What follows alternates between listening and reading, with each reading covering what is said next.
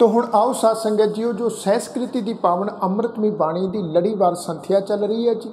ਇਸ ਲੜੀਵਾਰ ਸੰਥਿਆ ਦੇ ਅਧੀਨ ਅੱਜ ਆਪਾਂ 11ਵੇਂ ਸ਼ਬਦ ਤੋਂ ਜੋ ਹੈ ਉਹ ਆਰੰਭਤਾ ਕਰਨੀ ਆ। ਆਓ ਰਲ ਮਿਲ ਕੇ 11ਵਾਂ ਸ਼ਬਦ ਜੋ ਗੁਰੂ ਅਰਜਨ ਦੇਵ ਮਹਾਰਾਜ ਜੀ ਦੀ ਪਾਵਨ ਅੰਮ੍ਰਿਤਮਈ ਰਚਨਾ ਤੋਂ ਉਚਾਰਨ ਕੀਤਾ ਹੋਇਆ ਇਸ ਮੁਬਾਰਕ ਸ਼ਬਦ ਦਾ ਆਓ ਰਲ ਮਿਲ ਕੇ ਉਚਾਰਨ ਕਰਦੇ ਹਾਂ ਜੀ। ਆਓ ਉਚਾਰਨ ਕਰੀਏ।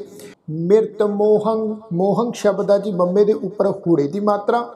ਉਸ ਤੋਂ ਬਾਅਦ ਹਾਹਾ ਅੱਖਰ ਹਾਹੇ ਦੇ ਉੱਪਰ ਤੁਸੀਂ ਦੇਖੋ ਟਿੱਪੀ ਦੀ ਮਾਤਰਾ ਵਾ ਤੇ ਟਿੱਪੀ ਦੀ ਮਾਤਰਾ ਦਾ ਇੱਥੇ ਅਸੀਂ ਨਾਸਕ ਉਚਾਰਨ ਕਰਨਾ ਵਾ, ਸ਼ਬਦ ਦਾ ਉਚਾਰਨ ਆ ਜੀ ਮੋਹੰਗ, ਮਿਰਤ ਮੋਹੰਗ, ਅਲਪ ਬੁੱਧੀਅੰਗ ਬੁੱਧੀਅੰਗ, ਬੱਬੇ ਦੇ ਪੈਰ ਵਿੱਚ ਔਂਕੜ, ਧੱਦੇ ਦੇ ਪੈਰ ਵਿੱਚ ਤੁਸੀਂ ਦੇਖੋ ਅੱਧਾ ਜਈਆ ਲੱਗਾ ਹੋਇਆ, ਉੱਪਰ ਟਿੱਪੀ ਦੀ ਮਾਤਰਾ ਵਾ। ਤੇ ਜਿਵੇਂ ਮੈਂ ਪਹਿਲਾਂ ਤੁਹਾਡੇ ਚਰਨਾਂ ਵਿੱਚ ਸਾਸੰਗ ਬੇਨਤੀ ਕੀਤੀ ਸੀ ਵੀ ਜਦੋਂ ਕਿਸੇ ਵੀ ਸ਼ਬਦ ਦੇ, ਕਿਸੇ ਵੀ ਅੱਖਰ ਦੇ ਪੈਰ ਵਿੱਚ ਅੱਧਾ ਜਈਆ ਲੱਗਾ ਹੋਵੇ ਤੇ ਉਸ ਅੱਧੇ ਜਈਏ ਨੂੰ ਉਚਾਰਨ ਕਰਨ ਦਾ ਇਹੀ ਫਾਰਮੂਲਾ ਵਾ ਜੀ ਸਿਹਾਰੀ ਪਲੱਸ ਐੜਾ।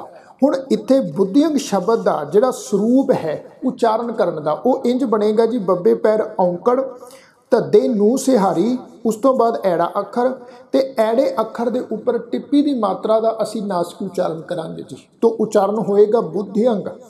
ਅਲਪ ਬੁੱਧਿਅੰਗ। ਰਚੰਤ ਬਨਿਤਾ, ਬਿਨੋਦ ਸਾਹੰਗ ਸਾਹੰਗ ਇਹ ਸ਼ਬਦ ਆ ਜੀ ਰਚੰਤ ਬਨਿਤਾ। ਬੱਬਾ ਨੰਨੇ ਨੂੰ ਸਿਹਾਰੀ ਲੱਗੀ ਹੋਈ ਆ, ਤਤੇ ਨੂੰ ਕੰਨਾ। ਨੰਨੇ ਨੂੰ ਜਿਹੜੀ ਸਿਹਾਰੀ ਆ ਇਸ ਦਾ ਵੀ ਉਚਾਰਨ ਕਰਾਂਗੇ। ਬਨਿਤਾ। ਬਨਿਤਾ ਦਾ ਅਰਥ ਹੁੰਦਾ ਵਾ ਜੀ ਇਸਤਰੀ, ਘਰ ਵਾਲੀ ਪਤਨੀ। ਮਿਰਤ ਮੋਹੰਗ, ਅਲਪ ਬੁੱਧਿਅੰਗ। ਰਚੰਤ ਬਨਿਤਾ, ਬਿਨੋਦ ਸਾਹੰ ਜੌਬਨ, ਬਹਿਕ੍ਰਮ, ਕਨਿਕ ਕੁੰਡਲ ਹੈ ਸਾਸੰਗ ਧਿਆਨ ਰੱਖੋ। ਇਹ ਜਿਹੜਾ ਸ਼ਬਦ ਆ ਜੀ, ਜੱਜੇ ਉੱਪਰ ਕਨੋੜੇ ਦੀ ਮਾਤਰਾ, ਬੱਬਾ, ਫਿਰ ਨੰਨਾ ਅੱਖਰ। ਤੁਸੀਂ ਜਿਹੜਾ ਜੱਜੇ ਉੱਪਰ ਕਨੋੜੇ ਦੀ ਮਾਤਰਾ ਲੱਗੀ ਹੈ ਜੀ, ਕਨੋੜੇ ਦੀ ਮਾਤਰਾ ਦਾ ਉਚਾਰਨ ਕਰਨਾ ਹੈ ਇੱਥੇ ਹੋੜੇ ਦੀ ਮਾਤਰਾ ਦਾ ਉਚਾਰਨ ਨਹੀਂ ਕਰਨਾ, ਇਸ ਸ਼ਬਦ ਦਾ ਉਚਾਰਨ ਅਸੀਂ ਜੋਬਨ, ਇਸ ਢੰਗ ਨਾਲ ਨਹੀਂ ਕਰਨਾ। ਇਸ ਦਾ ਉਚਾਰਨ ਕਰਾਂਗੇ ਜੌਬਨ, ਜੱਜੇ ਉੱਪਰ ਕਨੋੜੇ ਦੀ ਮਾਤਰਾ ਨਾਲ ਜੌਬਨ, ਬਹਿਕਰਮ ਕਨਿਕ ਕੁੰਡਲੇ, ਬਚਿੱਤਰ ਮੰਦਿਰ ਸ਼ੋਭੰਤ ਬਸਤਰਾ, ਬਚਿੱਤਰ, ਚੱਚੇ ਨੂੰ ਸਿਹਾਰੀ ਬਚਿੱਤਰ, ਮੰਦਿਰ ਮੰਦਿਰ ਸ਼ਬਦ। ਫਿਰ ਹੈ ਜੀ ਸ਼ੋਭੰਤ ਬਸਤਰਾ ਬਸਤਰਾ ਤੱਤੇ ਦੇ ਪੈਰ ਵਿੱਚ ਤੁਸੀਂ ਦੇਖੋ ਅੱਧਾ ਰਾਰਾ ਵਾ ਜੀ। ਬਸਤਰਾ, ਇਤਿਅੰਤ ਮਾਇਆ ਵਿਆਪਿਤੰਗ ਇਤਿਅੰਤ, ਤੁਸੀਂ ਇੱਥੇ ਦੇਖੋ ਈੜੀ ਨੂੰ ਸਿਹਾਰੀ ਫਿਰ ਤੱਤਾ ਤੱਤੇ ਅੱਖਰ ਦੇ ਪੈਰ ਵਿੱਚ ਅੱਧਾ ਜਈਆ ਉੱਪਰ ਟਿੱਪੀ ਦੀ ਮਾਤਰਾ, ਫਿਰ ਤੱਤਾ ਅੱਖਰ। ਇਸ ਦਾ ਉਚਾਰਨ ਵੀ ਸਾਸੰਗ ਬੁੱਧਿਅੰਗ ਵਾਂਗ ਅਸੀਂ ਉਚਾਰਨ ਕਰਾਂਗੇ। ਸਿਹਾਰੀ ਪਲੱਸ ਐੜਾ ਈੜੀ ਨੂੰ ਸਿਹਾਰੀ, ਫਿਰ ਤੱਤੇ ਨੂੰ ਸਿਹਾਰੀ, ਫਿਰ ਅੱਗੇ ਐੜਾ, ਐੜੇ ਅੱਖਰ ਦੇ ਉੱਪਰ ਟਿੱਪੀ ਦੀ ਮਾਤਰਾ, ਫਿਰ ਤੱਤਾ ਅੱਖਰ। ਤੋਂ ਇਸ ਦਾ ਉਚਾਰਨ ਹੋਏਗਾ ਜੀ, ਇਤਿਅੰਤ ਮਾਇਆ ਬਿਆ ਪਿਤੰਗ हे ਅਚੁਤ ਸ਼ਰਨ ਸੰਤ। ਸ਼ਰਨ, ਸੱਸੇ ਪੈਰ ਬਿੰਦੀ ਲਗਾ ਕੇ ਉਚਾਰਨ ਕਰਨਾ ਵਾ ਜੀ ਪਾਠ। ਸ਼ਰਨ हे ਅਚੁੱਤ ਸ਼ਰਨ ਸੰਤ ਨਾਨਕ ਨਾਨਕ ਤੇ ਰੁਕਾਂਗੇ ਜੀ। ਭੋ ਭਗਵਾਨ ਏ ਨਮੈ ਇਸ ਦਾ ਉਚਾਰਨ ਅਸੀਂ ਨਮੈ ਉਚਾਰਨ ਕਰਾਂਗੇ। ਇੱਥੇ ਨਮਾ ਨਹੀਂ ਉਚਾਰਨ ਕਰਾਂਗੇ। ਸਾਧ ਸੰਗਤ, ਜਿਵੇਂ ਮੈਂ ਤੁਹਾਡੇ ਚਰਨਾਂ ਵਿੱਚ ਪਹਿਲਾਂ ਵੀ ਬੇਨਤੀ ਕੀਤੀ ਸੀ ਵੀ ਜਦੋਂ ਕਿਸੇ ਵੀ ਸ਼ਬਦ ਦਾ ਅਖੀਰਲਾ ਅੱਖਰ ਹਾਹਾ ਮੁਕਤਾ ਹੁੰਦਾ ਜੀ। ਸ਼ਬਦ ਦਾ ਅਖੀਰਲਾ ਅੱਖਰ ਹਾਹਾ ਜਿਹੜਾ ਮੁਕਤਾ ਹੈ, ਇਸ ਨੂੰ ਉਚਾਰਨ ਕਰਨ ਦੇ ਦੋ ਹੀ ਢੰਗ ਤਰੀਕੇ ਆ ਜੀ। ਇੱਕ ਨਵੀਨ ਵਿਚਾਰਧਾਰਾ ਦਾ ਢੰਗ ਤਰੀਕਾ ਜੋ ਸਰਦਾਰ ਜੋਗਿੰਦਰ ਸਿੰਘ ਜੀ ਤਲਵਾੜਾ ਨੇ ਸਾਨੂੰ ਸੇਧ ਦਿੱਤੀ ਹੈ ਜੀ। ਇੱਕ ਆ ਜੀ ਪੁਰਾਤਨ ਚੱਲਿਆ ਆ ਰਿਹਾ ਢੰਗ ਤਰੀਕਾ। ਪੁਰਾਤਨ ਚੱਲਿਆ ਆ ਰਿਹਾ ਢੰਗ ਤਰੀਕਾ ਇਹੀ ਆ ਵੀ ਜਿਹੜੇ ਸ਼ਬਦਾਂ ਦਾ ਅਖੀਰਲਾ ਅੱਖਰ ਹਾਹਾ ਮੁਕਤਾ ਹੁੰਦਾ ਜੀ, ਉਹ ਹਾਹਾ ਮੁਕਤਾ ਜਿਹੜਾ ਹਾਹੇ ਨੂੰ ਸਿਹਾਰੀ ਵਾਂਗੂ ਉਚਾਰਨ ਹੋਣਾ ਵਾ। ਹਾਹੇ ਨੂੰ ਲੱਗੀ ਸਿਹਾਰੀ ਆਪਣੇ ਤੋਂ ਪਹਿਲੇ ਅੱਖਰ ਤੇ ਦੁਲਾਵਾਂ ਦੇ ਪਾਠ ਵਾਂਗੂ ਉਚਾਰਨ ਹੁੰਦੀ ਹੈ, ਜਿਵੇਂ ਇੱਥੇ ਉਚਾਰਨ ਕੀਤਾ ਨਮੈ ਪਰ ਦੂਸਰਾ ਜਿਹੜਾ ਢੰਗ ਤਰੀਕਾ ਸੀ, ਜੋ ਨਵੀਨ ਵਿਚਾਰਧਾਰਾ ਨੂੰ ਫੋਲੋ ਕਰਨ ਵਾਲੇ ਫੋਲੋਵਰ ਆ, ਜੋ ਵਿਦਵਾਨ ਆ, ਜੋ ਸਰੋਤੇ ਆ, ਜਿਹੜੀਆਂ ਸਿੱਖ ਸੰਗਤਾਂ ਵਾ, ਉਹ ਇਸ ਢੰਗ ਨਾਲ ਵੀ ਉਚਾਰਨ ਕਰਦੇ ਆ, ਇਸ ਸ਼ਬਦ ਦਾ ਪਾਠ ਨਮਾ ਤੋ ਸਾਧ ਸੰਗਤ, ਮੈਂ ਹਮੇਸ਼ਾ ਬੇਨਤੀ ਕਰਦਾ ਹੁੰਨਾ ਵੀ ਜੇਕਰ ਤੁਸੀਂ ਇਸ ਦਾ ਪਾਠ ਜਿਹੜਾ ਹੈ ਕੰਨੇ ਦੀ ਟੋਨ ਵਿੱਚ ਕਰਦੇ ਹੋ ਨਵਾਂ, ਤੇ ਇਹ ਵੀ ਆਪਣੀ ਜਗ੍ਹਾ ਦਰੁਸਤ ਆ। ਤੇ ਜੇਕਰ ਸਾਧ ਸੰਗਤ ਅਸੀਂ ਨਵੀਨ ਵਿਚਾਰਧਾਰਾ ਨੂੰ ਛੱਡ ਕੇ ਜੋ ਪੁਰਾਤਨ ਚੱਲੀ ਆ ਰਹੀ, ਇਸ ਉਚਾਰਨ ਸੰਬੰਧੀ ਜਿਹੜੀ ਰੀਤ ਆ, ਜਿਹੜੀ ਇੱਕ ਪਰੰਪਰਾ ਵਾ, ਜੇ ਉਹਨੂੰ ਹੀ ਅਸੀਂ ਕਾਇਮ ਰੱਖੀਏ, ਤੇ ਮੈਂ ਸਮਝਦਾ ਹਾਂ ਉਹ ਹੈ ਵੈਲ ਐਂਡ ਗੁੱਡ ਇਸ ਦਾ ਉਚਾਰਨ ਜਿਹੜਾ ਹੈ, ਇੱਥੇ ਸਾਧ ਸੰਗਤ ਅਸੀਂ ਨਮੈ ਇਸ ਢੰਗ ਨਾਲ ਉਚਾਰਨ ਕਰਾਂਗੇ। ਹੇ ਅਚੁੱਤ ਸ਼ਰਨ ਸੰਤ ਨਾਨਕ, ਭੋ ਭਗਵਾਨਏ ਨਮੈ ਤੋ ਸਾਧ ਸੰਗਤ, ਇੱਕ ਦਫਾ ਇਸ 11ਵੇਂ ਸ਼ਬਦ ਦਾ ਜਿਹੜਾ ਹੈ, ਉਹ ਸਮੁੱਚਾ ਪਾਠ ਅਸੀਂ ਕਰਦੇ ਹਾਂ, ਤਾਂ ਜੋ ਹੋਰ ਗੱਲ ਜਿਹੜੀ ਆ, ਉਹ ਸੋਕੀ ਸਾਨੂੰ ਸਮਝ ਵਿੱਚ ਆ ਜਾਏਗੀ। ਤੋ ਇਸ ਦਾ ਸਮੁੱਚਾ ਪਾਠ ਹੈ ਜੀ। ਮਿਰਤ ਮੋਹੰਗ ਅਲਪ ਬੁੱਧਿਯੰ ਰਚੰਤ ਬਨਿਤਾ ਬਿਨੋਦ ਸਾਹੰ। ਜੌਬਨ ਬੈਕ੍ਰਮ ਕਨਿਕ ਕੁੰਡਲੈ ਬਚਿੱਤਰ ਮੰਦਿਰ, ਸ਼ੋਭੰਤ ਬਸਤਰਾ ਇਤਯੰਤ ਮਾਇਆ ਵਿਆਪਿਤੰ। हे ਅਚੁਤ ਸ਼ਰਨ ਸੰਤ ਨਾਨਕ, ਭੋ ਭਗਵਾਨਏ ਨਮੈ ਤੋ ਸਾਧ ਸੰਗਤ, ਇਹ ਆ ਜੀ 11ਵਾਂ ਸ਼ਬਦ 11ਵਾਂ ਸ਼ਲੋਕ। ਇਸ ਤੋਂ ਅੱਗੇ ਆ ਜੀ 12ਵਾਂ ਸ਼ਲੋਕ 12ਵਾਂ ਸ਼ਬਦ। ਆਓ ਇਸ ਦਾ ਰਲ ਮਿਲ ਕੇ ਉਚਾਰਨ ਕਰਦੇ ਆ ਜੀ। ਗੁਰੂ ਸਾਹਿਬ ਜੀ ਫਰਮਾ ਰਹੇ ਆ, ਜਨਮੰ ਤਾ ਮਰਣੰ ਜਨਮੰ ਜੱਜਾ ਨੰਨਾ ਮੰਮੇ ਦੇ ਉੱਪਰ ਟਿੱਪੀ ਆ ਜੀ। ਫਿਰ ਅੱਗੇ ਤੁਸੀਂ ਦੇਖੋ ਮਰਨੰਗ, ਮੰਮਾ ਅੱਖਰ, ਫਿਰ ਰਾਰਾ ਅੱਖਰ, ਫਿਰ ਨਾਣਾ ਅੱਖਰ ਤੇ ਨਾਣੇ ਅੱਖਰ ਉੱਪਰ ਟਿੱਪੀ ਦੀ ਮਾਤਰਾ ਵਾ।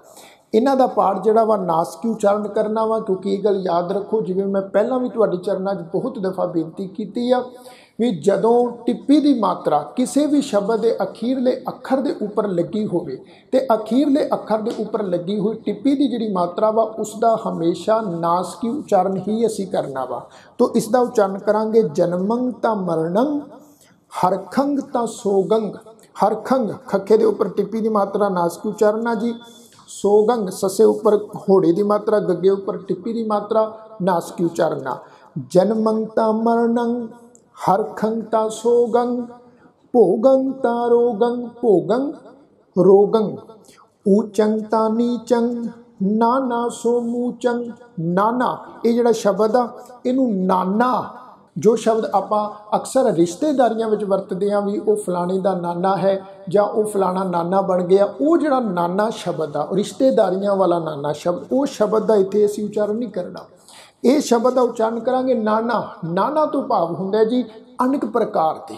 ਇੱਥੇ ਅਨੇਕ ਕਿਸਮਾਂ ਦੀ ਗੱਲ ਚੱਲ ਰਹੀ ਆ, ਅਨੇਕ ਪ੍ਰਕਾਰ ਦੀ ਗੱਲ ਚੱਲ ਰਹੀ ਆ। ਤੋਂ ਗੁਰੂ ਸਾਹਿਬ ਫਰਮਾ ਰਹੇ ਆ, ਊਚੰ ਤਾਂ ਨੀਚੰ, ਨਾਨਾ ਸੁ ਮੂਚੰ। ਸੋ ਸੱਸੇ ਪੈਰ ਤੁਸੀਂ ਦੇਖੋ, ਔਂਕੜ ਦੀ ਮਾਤਰਾ ਵਾ, ਇਹਨੂੰ ਸੋ ਕਰਕੇ ਉਚਾਰਨ ਨਹੀਂ ਕਰਨਾ। ਹੋੜੇ ਦੀ ਮਾਤਰਾ ਲਗਾ ਕੇ ਸੱਸੇ ਉੱਪਰ ਅਸੀਂ ਉਚਾਰਨ ਨਹੀਂ ਕਰਨਾ। ਸੱਸੇ ਦੇ ਪੈਰ ਵਿੱਚ ਔਂਕੜ ਆ ਤੇ ਔਂਕੜ ਦੀ ਹੀ ਮਾਤਰਾ ਦਾ ਉਚਾਰਨ ਕਰਾਂਗੇ, ਕਿਉਂਕਿ ਸਾਧ ਸੰਗਤ ਇਹ ਵੀ ਗੱਲ ਯਾਦ ਰੱਖੋ, ਜਿਹੜੀ ਔਂਕੜ ਦੀ ਮਾਤਰਾ ਵਾ, ਇਹ ਆ ਸਾਧ ਸੰਗਤ ਲਘੂ ਮਾਤਰਾ, ਜਿਹੜੀ ਹੋੜੇ ਦੀ ਮਾਤਰਾ ਵਾ, ਇਹ ਆ ਜੀ ਦੀਰਘ ਮਾਤਰਾ। ਦੀਰਘ ਮਾਤਰਾ ਦਾ ਹਮੇਸ਼ਾ ਜਿਹੜਾ ਉਚਾਰਨ ਆ, ਉਹ ਲਮਕਾ ਵਿੱਚ ਹੁੰਦਾ ਹੈ, ਲੰਮੀ ਹੇਕ ਲਗਾ ਕੇ ਆਪਾਂ ਕਰਦੇ ਆ। ਪਰ ਜਿਹੜੀ ਲਘੂ ਮਾਤਰਾ, ਛੋਟੀ ਮਾਤਰਾ ਵਾ, ਉਸ ਦਾ ਉਚਾਰਨ ਬਹੁਤ ਹਲਕੀ ਜੀ ਆਵਾਜ਼ ਵਿੱਚ ਹੁੰਦਾ ਹੈ। ਤੋਂ ਇੱਥੇ ਸਾਧ ਸੰਗ ਸੱਸੇ ਪੈਰ ਔਂਕੜ ਦੀ ਮਾਤਰਾ ਹੈ, ਲਘੂ ਮਾਤਰਾ ਹੈ, ਇਸ ਦਾ ਉਚਾਰਨ ਕਰਾਂਗੇ ਸੋ ਨਾਨਾ ਸੋ ਮੂਚੰਗ ਫਿਰ ਇਸ ਤੋਂ ਬਾਅਦ ਆ ਜੀ ਰਾਜੰ ਤਾਮਾਨੰ ਅਭਿਮਾਨੰ ਤਾਹੀਨੰ ਅਭਿਮਾਨੰ ਤਾਂ ਹੀਨੰ, ਇਹ ਜਿਹੜਾ ਸ਼ਬਦ ਆ, ਐੜਾ, ਭੱਬੇ ਨੂੰ ਸਿਹਾਰੀ, ਮੰਮੇ ਨੂੰ ਕੰਨਾ ਨੰਨੇ ਉੱਤੇ ਟਿੱਪੀ ਨਾਸਕ ਉਚਾਰਨ ਕਰਾਂਗੇ, ਅਭਿਮਾਨੰ। ਫਿਰ ਆ ਜੀ ਹੀਨੰ, ਹਾਹੇ ਨੂੰ ਬਿਹਾਰੀ ਦੀ ਮਾਤਰਾ, ਨੰਨੇ ਉੱਤੇ ਟਿੱਪੀ ਦੀ ਮਾਤਰਾ, ਹੀਨੰ ਨਾਸਕ ਉਚਾਰਨ ਕਰਾਂਗੇ ਜੀ। ਪਰਵਿਰਤ ਮਾਰਗੰ, ਵਰਤੰਤ ਬਿਨਾਸ਼ਨੰ ਬਿਨਾਸ਼ਨੰ ਬੱਬੇ ਨੂੰ ਸਿਹਾਰੀ, ਨੰਨੇ ਨੂੰ ਕੰਨਾ, ਸੱਸੇ ਪੈਰ ਬਿੰਦੀ ਲਗਾ ਕੇ ਉਚਾਰਨ ਕਰਾਂਗੇ ਜੀ, ਬਿਨਾਸ਼ਨੰ। ਪਰਵਿਰਤ ਮਾਰਗੰ ਵਰਤੰਤ ਬਿਨਾਸ਼ਨੰ, ਗੋਬਿੰਦ ਭਜਨ ਸਾਧ ਸੰਗੇਣ ਅਸਥਿਰੰਗ ਅਸਥਿਰੰਗ ਰਾਰੇ ਦੇ ਉੱਪਰ ਟਿੱਪੀ ਦੀ ਮਾਤਰਾ ਵਾ ਜੀ ਥੱਥੇ ਨੂੰ ਸਿਹਾਰੀ ਆ ਥੱਥੇ ਨੂੰ ਲੱਗੀ ਸਿਹਾਰੀ ਦਾ ਵੀ ਉਚਾਰਨ ਕਰਾਂਗੇ ਰਾਰੇ ਉੱਤੇ ਟਿੱਪੀ ਦੀ ਮਾਤਰਾ ਦਾ ਨਾਸਕੀ ਉਚਾਰਨ ਹੋਏਗਾ? ਅਸਥਿਰੰਗ ਨਾਨਕ ਨਾਨਕ ਦੇ ਉੱਤੇ ਵਿਸ਼ਰਾਮ ਦੇਵਾਂਗੇ ਜੀ। ਭਗਵੰਤ ਭਜਨਾਸਨੰਗ ਭਜਨਾਸਨੰਗ ਨੰਨੇ ਦੇ ਉੱਪਰ ਅਖੀਰ ਤੇ ਤੁਸੀਂ ਦੇਖੋ ਟਿੱਪੀ ਦੀ ਮਾਤਰਾ ਵਾ ਨਾਸਕੀ ਉਚਾਰਨ ਹੋਏਗਾ ਭਜਨਾਸਨੰਗ ਤੋ ਸਾਧ ਸੰਗਤ ਇਹ ਆ 12ਵਾਂ ਸ਼ਲੋਕ। ਤੋ ਇੱਕ ਦਫਾ ਸਾਧ ਸੰਗਤ ਇਸ ਦਾ ਆਪਾਂ ਸਮੁੱਚਾ ਪਾਠ ਕਰਦੇ ਹਾਂ ਜੀ, ਰਲ ਮਿਲ ਕੇ ਇਹਨੂੰ ਸੁਣੋ ਜੀ। ਜਨਮੰ ਤਾ ਮਰਣੰ ਹਰਖੰ ਸੋਗੰ, ਆਹ, ਭੋਗੰ ਤਾ ਰੋਗੰ, ਊਚੰ ਤਾ ਨੀਚੰ, ਨਾਨਾ ਸੋ ਮੂਚੰ, ਰਾਜੰ ਤਾ ਮਾਨੰ, ਅਭਿਮਾਨੰ ਤਾ ਹੀਨੰ, ਪ੍ਰਵਿਰਤ ਮਾਰਗੰ ਵਰਤੰਤ ਬਿਨਾਸ਼ਨੰ। ਗੋਬਿੰਦ ਭਜਨ ਸਾਧ ਸੰਗੇਨ ਅਸਥਿਰੰ, ਨਾਨਕ ਭਗਵੰਤ ਭਜਨਾਸਨੰ। ਤੋ ਸਾਧ ਸੰਗਤ, ਇਹ ਆ ਜੀ 12ਵਾਂ ਸ਼ਲੋਕ। ਹੁਣ ਇਸ ਤੋਂ ਅੱਗੇ 13ਵਾਂ ਸ਼ਲੋਕ 13ਵਾਂ ਸ਼ਬਦ ਇਸ ਦਾ ਉਚਾਰਨ ਕਰੀਏ ਜੀ। ਗੁਰੂ ਸਾਹਿਬ ਫਰਮਾ ਰਹੇ ਆ ਜੀ, ਕਿਰਪੰਤ ਹਰਿਯੰ, ਮਤ ਤਤ ਗਿਆਨੰ, ਕਿਰਪੰਤ ਹਰਿਯੰ। ਹਰਿਯੰ ਹਾਹਾ ਰਾਰੇ ਨੂੰ ਬਿਹਾਰੀ, ਫਿਰ ਐੜਾ ਅੱਖਰ ਹੈੜੇ ਦੇ ਉੱਪਰ ਟਿੱਪੀ ਦੀ ਮਾਤਰਾ ਨਾਸਕ ਉਚਾਰਨ ਕਰਾਂਗੇ?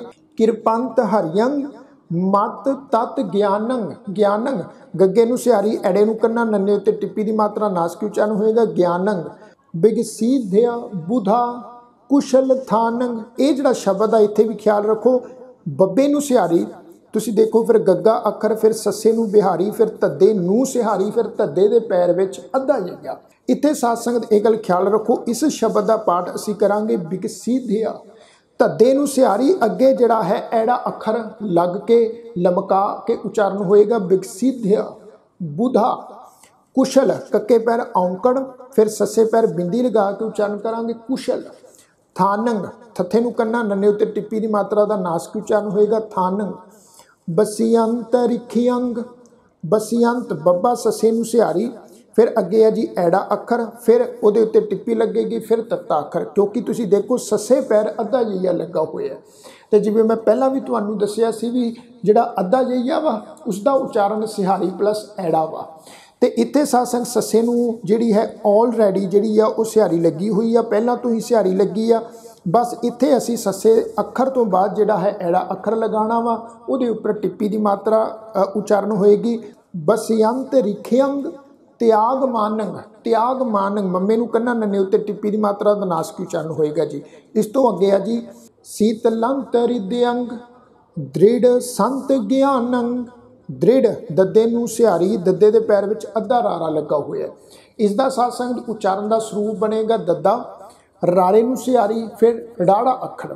ਕਿਉਂਕਿ ਮੈਂ ਤੁਹਾਡੇ ਚਰਨਾਂ 'ਚ ਪਹਿਲਾਂ ਵੀ ਬੇਨਤੀ ਕੀਤੀ ਹੈ ਵੀ ਜਦੋਂ ਕਿਸੇ ਸ਼ਬਦ ਦੇ ਕਿਸੇ ਅੱਖਰ ਦੇ ਪੈਰ ਵਿੱਚ ਅੱਧਾ ਰਾਰਾ ਲੱਗਾ ਹੋਵੇ ਜੇ ਉਸ ਅੱਖਰ ਨੂੰ ਕੋਈ ਲੱਗ ਮਾਤਰਾ ਲੱਗੀ ਆ, ਸਿਆਰੀ ਦੀ ਮਾਤਰਾ ਜਾਂ ਬਿਹਾਰੀ ਦੀ ਮਾਤਰਾ, ਤੇ ਉਹ ਜਿਹੜੀ ਮਾਤਰਾ ਹੈ, ਉਹ ਜੋ ਪੈਰ ਵਿੱਚ ਅੱਧਾ ਰਾਰਾ ਲੱਗਾ ਹੈ, ਉਸ ਰਾਰੇ ਨੂੰ ਲਾ ਕੇ ਉਚਾਰਨ ਹੁੰਦੀ ਆ। ਤੋਂ ਇਤੇ ਸਾਧ ਸੰਗਤ ਉਚਾਰਨ ਕਰਾਂਗੇ। ਦ੍ਰਿੜ ਸੀਤਲੰਤ ਰਿਦਯੰਗ ਦ੍ਰਿੜ ਸੰਤ ਗਿਆਨੰਗ।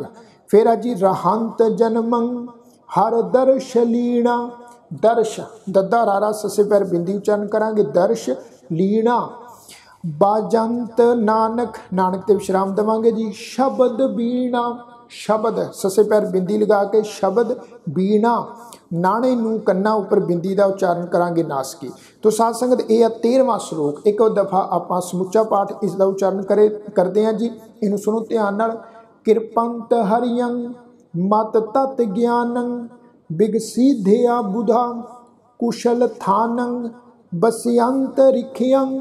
त्यागमानं शीतलन्तरिद्यं दृढ ज्ञानं रहंत जन्मं हरदर्शलीणा ਬਾਜੰਤ ਨਾਨਕ ਸ਼ਬਦ ਬੀਣਾ ਤੋ ਸਾਧ ਸੰਗਤ ਇਹ ਆ ਜੀ 13ਵਾਂ ਸ਼ਲੋਕ ਹੁਣ ਇਸ ਤੋਂ ਅੱਗੇ 14ਵਾਂ ਸ਼ਲੋਕ 14ਵਾਂ ਸ਼ਬਦ ਇਹਨੂੰ ਸੁਣੋ ਧਿਆਨ ਨਾਲ ਕਹੰਤ ਬੇਦਾ ਆਹ ਗੁਣੰਤ ਗੁਣੀਆਂ ਕਹੰਤ ਬੇਦਾ ਗੁਣੰਤ ਗੁਣੀਆਂ, ਸੁਣੰਤ ਬਾਲਾ, ਬਹੁ ਵਿਦ ਪ੍ਰਕਾਰਾ। ਇਹਨੂੰ ਸਾਧ ਸੰਗ ਧਿਆਨ ਰੱਖੋ, ਕਹੰਤ। ਹਾਹੇ ਦੇ ਉੱਪਰ ਟਿੱਪੀ ਦੀ ਮਾਤਰਾ ਵਾ ਨਾਸਕ ਉਚਾਰਨ ਕਹੰਤ। ਕਹੰਤ ਬੇਦਾ ਗੁਣੰਤ। ਨਾਣੇ ਦੇ ਉੱਪਰ ਟਿੱਪੀ ਦੀ ਮਾਤਰਾ ਵਾ ਜੀ, ਗੁਣੰਤ ਗੁਣੀਆਂ, ਸੁਣੰਤ ਬਾਲਾ, ਬਹੁ ਵਿਦ ਪ੍ਰਕਾਰਾ। ਦ੍ਰਿੜੰਤ ਸੁਬਿਦਿਆ ਹਰ ਹਰ ਕਿਰਪਾਲਾ ਧਿਆਨ ਰੱਖੋ, ਦੱਦੇ ਨੂੰ ਸਿਆਰੀ ਦੱਦੇ ਪੈਰ ਵਿੱਚ ਅੱਧਾ ਰਾਰਾ ਵਾ। ਇਸ ਦਾ ਉਚਾਰਨ ਕਰਾਂਗੇ, ਦੱਦਾ ਰਾਰੇ ਨੂੰ ਸਿਆਰੀ ਦ੍ਰਿੜੰਤ। ਰਾੜੇ ਦੇ ਉੱਪਰ ਟਿੱਪੀ ਦੀ ਮਾਤਰਾ ਨਾਸਕੀ ਉਚਾਰਨ ਹੋਏਗਾ। ਦ੍ਰਿੜੰਤ ਸੁਵਿਦਿਆ ਸਸੇ ਪੈਰ ਔਂਕੜ ਦੀ ਮਾਤਰਾ ਵਾ। ਇਸ ਦਾ ਵੀ ਸਾਧ ਸੰਗਤ ਉਚਾਰਨ ਕਰਾਂਗੇ ਸੁਵਿਦਿਆ ਦ੍ਰਿੜੰਤ ਸੁਵਿਦਿਆ ਹਰ ਹਰ ਕਿਰਪਾਲਾ ਕਿਰਪਾਲਾ ਇਹਨੂੰ ਤੁਸੀਂ ਧਿਆਨ ਰੱਖੋ, ਕੱਕੇ ਦੇ ਪੈਰ ਵਿੱਚ ਅੱਧਾ ਰਾਰਾ ਵਾ। ਇਤੇ ਉਚਾਰਨ ਕਰਾਂਗੇ, ਕੱਕਾ ਰਾਰੇ ਨੂੰ ਸਿਆਰੀ ਫਿਰ ਪੱਪੇ ਨੂੰ ਕੰਨਾ, ਲੱਲੇ ਨੂੰ ਕੰਨਾ, ਕਿਰਪਾਲਾ। ਜਿਵੇਂ ਅਸੀਂ ਸ਼ਬਦ ਉਚਾਰਨ ਕਰਦੇ ਹਾਂ ਜੀ, ਕਿਰਪਾ। ਇੱਕ ਸ਼ਬਦ ਆ ਜੀ, ਕਿਰਪਾ। ਇੱਕ ਸ਼ਬਦ ਆ, ਕਿਰਪਾ। ਇੱਥੇ ਸਾਧ ਸੰਗਤ ਜਿਹੜਾ ਸ਼ਬਦ ਆ, ਇਹ ਕਿਰਪਾ ਨੂੰ ਕਿਰਪਾਲਾ ਜਿਹੜਾ ਹੈ ਗੁਰੂ ਸਾਹਿਬ ਜੀ ਨੇ ਇੱਥੇ ਲਿਖਿਆ ਹੋਇਆ, ਇਸ ਦਾ ਉਚਾਰਨ ਕਰਾਂਗੇ, ਕਿਰਪਾਲਾ। ਨਾਮਦਾਨ ਜਾਚੰਤ। ਨਾਨਕ ਨਾਨਕ ਤੇ ਵਿਸ਼ਰਾਮ ਦਵਾਂਗੇ ਜੀ। ਦੈਨਹਾਰ ਗੁਰ ਗੋਪਾਲਾ। ਤੋ ਸਾਧ ਸੰਗਤ, ਇਹ ਹੈ 14ਵਾਂ ਸ਼ਲੋਕ। ਇੱਕ ਦਫਾ ਆਪਾਂ ਸਮੁੱਚਾ ਪਾਠ ਕਰਦੇ ਹਾਂ ਜੀ। ਇਹਨੂੰ ਸੁਣੋ ਧਿਆਨ ਨਾਲ। ਕਹੰਤ ਬੇਦਾ ਆਹ, ਗੁਣੰਤ ਗੁਣੀਆਂ, ਸੁਣੰਤ ਬਾਲਾ, ਬਹੁ ਵਿਦ ਪ੍ਰਕਾਰਾ, ਦ੍ਰਿੜੰਤ ਸੁਬਿਦਿਆ, ਹਰ ਹਰ ਕਿਰਪਾਲਾ। ਨਾਮ ਦਾਨ ਜਾਚੰਤ ਨਾਨਕ ਦੈਨਹਾਰ ਗੁਰ ਗੋਪਾਲਾ। ਤੋ ਸਾਧ ਸੰਗਤ, ਇਹ ਆ ਜੀ 14ਵਾਂ ਸ਼ਲੋਕ 14ਵਾਂ ਸ਼ਬਦ। ਹੁਣ ਇਸ ਤੋਂ ਅੱਗੇ ਆ ਜੀ 15ਵਾਂ ਸ਼ਬਦ 15ਵਾਂ ਸ਼ਲੋਕ, ਇਸ ਦਾ ਪਾਠ ਅਸੀਂ ਉਚਾਰਨ ਕਰਦੇ ਹਾਂ ਜੀ। ਨਹਿ ਚਿੰਤਾ ਮਾਤ ਪਿਤ ਭਰਾਤੈ ਭਰਾਤੈ, ਇਹਨੂੰ ਭਰਾਤਾ, ਇਸ ਤਰ੍ਹਾਂ ਨਾਲ ਨਹੀਂ, ਭਰਾਤੈ। ਭੱਬੇ ਦੇ ਪੈਰ ਵਿੱਚ ਅੱਧਾ ਰਾਰਾ ਵਾ, ਫਿਰ ਕੰਨਾ, ਫਿਰ ਤੱਤਾ, ਫਿਰ ਹਾਹਾ ਮੁਕਤਾ। ਭਰਾਤੈ ਨਹਿ ਚਿੰਤਾ, ਮਾਤ ਪਿਤ ਭਰਾਤੈ ਨਹਿ ਚਿੰਤਾ, ਕਛ ਲੋਕ ਕਹਿ ਕਹਿ ਸ਼ਬਦ ਅਚ ਨਹਿ ਚਿੰਤਾ ਬਨਿਤਾ ਸੁਤ ਮੀਤੈ ਮੀਤੈ। ਪ੍ਰਵਿਰਤ ਮਾਇਆ ਸੰਬੰਧਨੈ ਸੰਬੰਧਨੈ ਪ੍ਰਵਿਰਤ ਮਾਇਆ ਸੰਬੰਧਨੈ ਦਇਆਲ ਏਕ ਭਗਵਾਨ ਪੁਰਖ ਹੈ ਨਾਨਕ ਨਾਨਕ ਤੇ ਵਿਸ਼ਰਾਮ ਦਵਾਂਗੇ ਜੀ। ਸਰਬ ਜੀ ਪ੍ਰਤੀਪਾਲਕ। ਹੈ ਹੁਣ ਇੱਥੇ ਖਿਆਲ ਰੱਖੋ, ਇਹ ਜਿਹੜਾ ਸ਼ਬਦ ਆ, ਜੱਜੇ ਨੂੰ ਬਿਹਾਰੀ ਫਿਰ ਐੜਾ ਅੱਖਰ ਮੁਕਤਾ। ਸਾਧ ਸੰਗਤ, ਮੈਂ ਪਹਿਲਾਂ ਵੀ ਤੁਹਾਡੇ ਚਰਨਾਂ 'ਚ ਬਹੁਤ ਵਾਰ ਇਹ ਬੇਨਤੀ ਕੀਤੀ ਆ। ਜਦੋਂ ਜੱਜੇ ਨੂੰ ਬਿਹਾਰੀ ਐੜਾ ਅੱਖਰ ਮੁਕਤਾ, ਇਹ ਸ਼ਬਦ ਅਸੀਂ ਗੁਰਬਾਣੀ 'ਚ ਪੜ੍ਹਦੇ ਆ। ਤੇ ਇਸ ਸ਼ਬਦ ਦਾ ਉਚਾਰਨ ਜਿਹੜਾ ਹੈ, ਉਹ ਅਸੀਂ ਇਸ ਢੰਗ ਨਾਲ ਕਰਾਂਗੇ, ਜੀ ਜੱਜੇ ਨੂੰ ਜਿਹੜੀ ਬਿਹਾਰੀ ਦੀ ਮਾਤਰਾ ਵਾ, ਉਹਨੂੰ ਲਮਕਾ ਕੇ ਉਚਾਰਨ ਕਰਨਾ ਹੈ। ਐੜਾ ਅੱਖਰ ਜਿਹੜਾ, ਉਹ ਲਮਕਾ ਵਾਸਤੇ ਆ। ਐੜਾ ਅੱਖਰ ਗੁਰੂ ਸਾਹਿਬ ਨੇ ਜਿਹੜਾ ਵਾ, ਇੱਥੇ ਧਿਆਨ ਰੱਖੋ ਕਾਬਤੋਲ ਦਾ ਵਜ਼ਨ ਪੂਰਾ ਕਰਨ ਵਾਸਤੇ ਪਿੰਗਲ ਦੇ ਆਧਾਰ ਦੇ ਉੱਤੇ ਲਿਖਿਆ ਹੋਇਆ ਪਰ ਇਸ ਦਾ ਜਿਹੜਾ ਉਚਾਰਨ ਆ, ਉਹ ਲਮਕਾ ਵਿੱਚ ਉਚਾਰਨ ਹੋਏਗਾ ਜੀ। ਜੀ ਤੋਂ ਭਾਵ ਆ ਜੀ ਜੀਵ ਜੰਤੂ। ਨਾਨਕ ਸਰਬ ਜੀ ਪ੍ਰਤੀਪਾਲਕ ਹੈ ਤੋ ਸਾਧ ਸੰਗਤ ਇਹ ਆ ਜੀ 15ਵਾਂ ਸ਼ਬਦ, ਇੱਕ ਦਫਾ ਆਪਾਂ ਸਮੁੱਚਾ ਪਾਠ ਉਚਾਰਨ ਕਰਦੇ ਹਾਂ ਜੀ। ਨਹਿ ਚਿੰਤਾ ਮਾਤ ਪਿਤ ਭਰਾਤੈ, ਨਹਿ ਚਿੰਤਾ ਕਛ ਲੋਕ ਕਹਿ, ਨਹਿ ਚਿੰਤਾ ਬਨਿਤਾ ਸੁਤ ਮੀਤੈ, ਆਹ ਪ੍ਰਵਿਰਤ ਮਾਇਆ ਸੰਬੰਧਨੈ, ਦਇਆਲ ਏਕ ਭਗਵਾਨ ਪੁਰਖ ਹੈ ਨਾਨਕ ਸਰਬ ਜੀ ਪ੍ਰਤੀਪਾਲਕ। ਹੈ ਤੋ ਸਾਧ ਸੰਗਤ, ਇਹ ਆ 15ਵਾਂ ਸ਼ਬਦ 15ਵਾਂ ਸ਼ਲੋਕ। ਹੁਣ ਇਸ ਤੋਂ ਅੱਗੇ ਜਿਹੜਾ ਹੈ 16ਵਾਂ ਸ਼ਬਦ 16ਵਾਂ ਸ਼ਲੋਕ। ਆਓ ਇਸ ਦਾ ਪਾਠ ਉਚਾਰਨ ਕਰਦੇ ਹਾਂ ਜੀ। ਅਨਿਤਯ ਵਿਤੰ ਅਨਿਤਯ ਚਿਤੰ ਹੁਣ ਇੱਥੇ ਖਿਆਲ ਰੱਖੋ, ਐੜਾ, ਨੰਨੇ ਨੂੰ ਸਿਹਾਰੀ, ਫਿਰ ਤੱਤੇ ਦੇ ਪੈਰ ਵਿੱਚ ਅੱਧਾ ਜੀਜਾ ਲੱਗਾ ਹੋਇਆ। ਇਸ ਦਾ ਜਿਹੜਾ ਉਚਾਰਨ ਦਾ ਸਰੂਪ ਆ, ਉਹ ਇੰਜ ਬਣੇਗਾ ਜੀ, ਐੜਾ, ਅੱਖਰ, ਫਿਰ ਨੰਨੇ ਨੂੰ ਸਿਹਾਰੀ, ਫਿਰ ਤੱਤੇ ਨੂੰ ਸਿਹਾਰੀ, ਫਿਰ ਅੱਗੇ ਐੜਾ, ਅੱਖਰ ਮੁਕਤਾ। ਅਨਿਤਯ ਅਨਿਤਯ ਆਸਾ ਬਹੁ ਵਿਧ ਪ੍ਰਕਾਰੰ ਪ੍ਰਕਾਰੰ ਰਾਰੇ ਦੇ ਉੱਪਰ ਟਿੱਪੀ ਦੀ ਮਾਤਰਾ ਨਾਸਕ ਉਚਾਰਨ ਹੋਏਗਾ ਜੀ ਅਨਿਤਯ ਹੇਤੰਗ ਅਹੰਗ ਬਧੰਗ ਬਧੰਗ ਬੱਬੇ ਉੱਪਰ ਟਿੱਪੀ ਦੀ ਮਾਤਰਾ ਧੱਦੇ ਦੇ ਉੱਪਰ ਟਿੱਪੀ ਦੀ ਮਾਤਰਾ ਬਧੰਗ ਨਾਸਕੀ ਉਚਾਰਨ ਹੋਏਗਾ ਜੀ ਭਰਮ ਮਾਇਆ ਮਲਨੰ ਵਿਕਾਰੰਗ ਵਿਕਾਰੰਗ ਫਿਰੰਤ ਜੋਨ ਅਨੇਕ ਜਠ ਰਾਗਨ ਨਹਿ ਸਿਮਰੰਤ ਮਲੀਣ ਬੁੱਧਿਅੰਗ ਬੁੱਧਿਅੰਗ, ਬੱਬੇ ਦੇ ਪੈਰ ਵਿੱਚ ਔਂਕੜ, ਧੱਦੇ ਨੂੰ ਸਿਹਾਰੀ, ਫਿਰ ਅੱਗੇ ਐੜਾ ਅੱਖਰ, ਉਹਦੇ ਉੱਪਰ ਟਿੱਪੀ ਦੀ ਮਾਤਰਾ ਨਾਸਕ ਉਚਾਰਨ ਕਰਾਂਗੇ, ਮਲੀਨ ਬੁੱਧਿਅੰਗ। ਹੇ ਗੋਬਿੰਦ ਕਰਤ ਮਇਆ, ਨਾਨਕ ਨਾਨਕ ਤੇ ਵਿਸ਼ਰਾਮ ਦਵਾਂਗੇ ਜੀ, ਪਤਿਤ ਉਦਾਹਰਣ, ਸਾਧ ਸੰਗ ਮੈਂ। ਤੋ ਸਾਧ ਸੰਗਤ, ਇਹ ਆ 16ਵਾਂ ਸ਼ਬਦ, ਇੱਕ ਦਫਾ ਆਪਾਂ ਜਿਹੜਾ ਵਾ ਰਿਪੀਟ ਉਚਾਰਨ ਕਰਦੇ ਆ ਸਮੁੱਚਾ ਪਾਠ। ਅਨਿਤਯ ਵਿਤੰਗ ਅਨਿਤਯ ਚਿਤੰਗ ਅਨਿਤਯ ਆਸਾ ਬਹੁ ਵਿਦ ਪ੍ਰਕਾਰੰ ਅਨਿਤਯ ਹੇਤੰ ਅਹੰਗ ਬਧੰਗ ਭਰਮ ਮਾਇਆ ਮਲਨੰ ਵਿਕਾਰੰ ਆਹ ਫਿਰੰਤ ਜੋਨ ਅਨੇਕ ਜਠ ਰਾਗਨ ਨਹਿ ਸਿਮਰੰਤ ਮਲੀਨ ਬੁੱਧਿਯੰ हे ਗੋਬਿੰਦ ਕਰਤ ਮਇਆ ਨਾਨਕ ਪਤਿਤ ਉਦਾਹਰਣ ਸਾਧ ਸੰਗ ਮੈਂ ਤੋ ਸਾਧ ਸੰਗਤ ਇਹ ਆ 16ਵਾਂ ਸ਼ਬਦ। ਹੁਣ ਇਸ ਤੋਂ ਅੱਗੇ ਜਿਹੜਾ ਵਾ 17ਵਾਂ ਸ਼ਬਦ, ਇਸ ਦਾ ਰਲ ਮਿਲ ਕੇ ਉਚਾਰਨ ਕਰਦੇ ਹਾਂ ਜੀ। ਗਿਰੰਤ ਗਿਰ ਪਤਿਤ ਪਾਤਾਲੰਗ ਪਾਤਾਲੰਗ ਪੱਪੇ ਨੂੰ ਕੰਨਾ ਫਿਰ ਤੱਤੇ ਨੂੰ ਕੰਨਾ ਫਿਰ ਲੱਲੇ ਉੱਤੇ ਟਿੱਪੀ ਦੀ ਮਾਤਰਾ। ਇਸ ਦਾ ਨਾਸਕ ਉਚਾਰਨ ਹੋਏਗਾ। ਸਾਧ ਸੰਗਤ, ਇਹ ਗੱਲ ਖਿਆਲ ਰੱਖੋ, ਜਿਵੇਂ ਮੈਂ ਪਹਿਲਾਂ ਵੀ ਕਈ ਦਫਾ ਤੁਹਾਡੇ ਚਰਨਾਂ 'ਚ ਬੇਨਤੀ ਕੀਤੀ ਆ, ਵੀ ਜਦੋਂ ਕੋਈ ਵੀ ਸ਼ਬਦ ਅਜੀਹਾ ਹੋਵੇ, ਜਿਸ ਸ਼ਬਦ ਵਿੱਚ ਕੰਨੇ ਦੀ ਮਾਤਰਾ ਹੋਵੇ ਜੇ ਪਹਿਲੇ ਅੱਖਰ ਨੂੰ ਕੰਨੇ ਦੀ ਮਾਤਰਾ ਲੱਗੀ ਆ, ਦੂਜੇ ਅੱਖਰ ਨੂੰ ਵੀ ਕੰਨੇ ਦੀ ਮਾਤਰਾ ਲੱਗੀ ਹੈ ਤੇ ਦੋਨੇ ਕੰਨੇ ਦੀਆਂ ਜਿਹੜੀਆਂ ਮਾਤਰਾਵਾਂ ਵਾ, ਉਹਨਾਂ ਦਾ ਸਾਧ ਸੰਗਤ ਦੋਨਾਂ ਦਾ ਪ੍ਰੋਪਰ ਉਚਾਰਨ ਕਰਾਂਗੇ। ਜਿਵੇਂ ਆਪਾਂ ਪੜ੍ਹਦੇ ਆ ਪਾ ਤਾਲਾਂ, ਪਾ ਤਾਲ ਲਖ ਆਗਾਸਾਂ ਆਗਾਸ ਇਸੇ ਤਰ੍ਹਾਂ ਸਾਧ ਸੰਗਤ ਇੱਥੇ ਸ਼ਬਦ ਆ, ਪਾ ਤਾਲੰਗ। ਪੱਪੇ ਨੂੰ ਜਿਹੜਾ ਕੰਨਾ, ਇਸ ਦਾ ਉਚਾਰਨ ਜ਼ਰੂਰ ਕਰਨਾ ਹੈ। ਇਸ ਕੰਨੇ ਦੀ ਮਾਤਰਾ ਦਾ ਉਚਾਰਨ ਛੱਡਣਾ ਨਹੀਂ ਅਸੀਂ। ਇਹਨੂੰ ਪਤਾਲੰਗ ਨਹੀਂ ਉਚਾਰਨ ਕਰਨਾ। ਇਸ ਦਾ ਉਚਾਰਨ ਕਰਾਂਗੇ ਪਾ ਤਾਲੰਗ। ਗਿਰੰਤ ਗਿਰ ਪਤਿਤ ਪਾਤਾਲੰਗ ਜਲੰਤ ਦੇ ਦੀਪਿਆ ਹੁਣ ਇੱਥੇ ਖਿਆਲ ਰੱਖੋ, ਜਲੰਤ, ਫਿਰ ਅੱਗੇ ਆ ਜੀ ਦੱਦੇ ਦੇ ਉੱਤੇ ਇਕਲਾ ਦੱਦੇ ਨੂੰ ਬਿਹਾਰੀ, ਫਿਰ ਪੱਪੇ ਦੇ ਪੈਰ ਵਿੱਚ ਅੱਧਾ ਜੀਆ। ਇੱਥੇ ਸਾਧ ਸੰਗਤ ਇਸ ਦਾ ਉਚਾਰਨ ਦਾ ਸਰੂਪ ਬਣੇਗਾ। ਪੱਪੇ ਨੂੰ ਸਿਹਾਰੀ, ਫਿਰ ਅੱਗੇ ਐੜਾ, ਅੱਖਰ ਮੁਕਤਾ। ਦੇ ਦੀਪਿਆ ਦੇ ਦੀਪਿਆ ਫਿਰ ਅੱਗੇ ਆ ਜੀ ਬੱਬੇ ਉੱਤੇ ਦੁਲਾਵਾਂ ਦਾ ਪਾਠ। ਸੱਸੇ ਦੇ ਪੈਰ ਵਿੱਚ ਤੁਸੀਂ ਦੇਖੋ, ਅੱਧਾ ਵਾਵਾ ਲੱਗਾ ਹੋਇਆ ਵਿਅੰਜਨ। ਸਾਧ ਸੰਗਤ, ਇਹ ਜਿਹੜਾ ਸੱਸੇ ਪੈਰ ਵਿੱਚ ਅੱਧਾ ਵਾਵਾ ਹੈ, ਇਸ ਦਾ ਵੀ ਉਚਾਰਨ ਕਰਾਂਗੇ। ਬੈ ਸਵੰਤਰੈ ਇਹ ਜਿਹੜਾ ਬੈ ਸਵੰਤਰੈ ਇਹ ਜਿਹੜਾ ਸ਼ਬਦ ਆ, ਇਸ ਦਾ ਸਾਧ ਸੰਗਤ ਜਿਹੜਾ ਅਰਥ ਆ, ਉਹ ਹੁੰਦਾ ਜੀ ਅੱਗ, ਜਿਹਨੂੰ ਅਸੀਂ ਅਗਨੀ ਕਹਿੰਦੇ ਆ। ਤੋਂ ਇਸ ਦਾ ਸਾਧ ਸੰਗਤ ਅਸੀਂ ਉਚਾਰਨ ਕਰਨਾ ਵਾ। ਗਿਰੰਤ ਗਿਰ ਪਤਿਤ ਪਾਤਾਲੰ, ਜਲੰਤ ਦੇ ਦੀਪਿਆ ਬੈ ਸਵੰਤਰੈ ਤੋ ਸਾਧ ਸੰਗਤ, ਇਸ ਤੋਂ ਅੱਗੇ ਆ ਜੀ ਬਹੰਤ ਅਗਾ ਤੋਯੰ ਤਰੰਗੰ, ਬਹੰਤ ਅਗਾ ਤੋਯੰ ਤਤੇ ਉੱਪਰ ਹੋੜੇ ਦੀ ਮਾਤਰਾ, ਫਿਰ ਇੱਥੇ ਸਾਧ ਸੰਗਤ ਈੜੀ ਨੂੰ ਸਿਆਰੀ, ਫਿਰ ਐੜਾ ਅੱਖਰ ਉਹਦੇ ਉੱਪਰ ਟਿੱਪੀ ਦੀ ਮਾਤਰਾ। ਤੋਯੰ ਤੋਯੰ ਦਾ ਅਰਥ ਹੁੰਦਾ ਹੈ ਜੀ ਪਾਣੀ। ਅਗਾ ਤੋਯੰ ਤਰੰਗੰ ਤਰੰਗੰ, ਰਾਰੇ ਉੱਪਰ ਟਿੱਪੀ ਦੀ ਮਾਤਰਾ, ਗੱਗੇ ਉੱਤੇ ਟਿੱਪੀ ਦੀ ਮਾਤਰਾ, ਇਹਨਾਂ ਦਾ ਨਾਸਕ ਉਚਾਰਨ ਹੋਏਗਾ ਤਰੰਗੰ। ਬਹੰਤ ਅਗਾ ਤੋਯੰ ਤਰੰਗੰ, ਦੁਖੰਤ ਗ੍ਰਹਿ ਚਿੰਤਾ, ਜਨਮੰਤਾ ਮਰਣੈ, ਅਨਿਕ ਸਾਧਨੰਗ ਨਾ ਸਿਧਿਅਤੇ ਨਾਨਕ ਅਸਥੰਭੰਗ ਅਸਥੰਭੰਗ ਅਸਥੰਭੰਗ ਸ਼ਬਦ ਸਾਧ ਸੁਵਜਨੈ ਹੁਣ ਇੱਥੇ ਖਿਆਲ ਰੱਖੋ, ਅਸੀਂ ਪਾਠ ਉਚਾਰਨ ਕੀਤਾ ਅਨਿਕ ਐੜਾ ਨੰਨੇ ਨੂੰ ਸਿਹਾਰੀ ਕੱਕਾ। ਅਨਿਕ ਇਸ ਦਾ ਉਚਾਰਨ ਕਰਾਂਗੇ। ਅਨਿਕ ਅਸਲ ਵਿੱਚ ਜਿਹੜਾ ਸ਼ਬਦ ਆ, ਖਿਆਲ ਰੱਖੋ, ਉਹ ਸ਼ਬਦ ਦਾ ਸਾਧ ਸੰਗਤ ਅਨੇਕ ਨੰਨੇ ਉੱਤੇ ਇੱਕ ਲਾਂ ਦੇ ਨਾਲ, ਅਨੇਕ।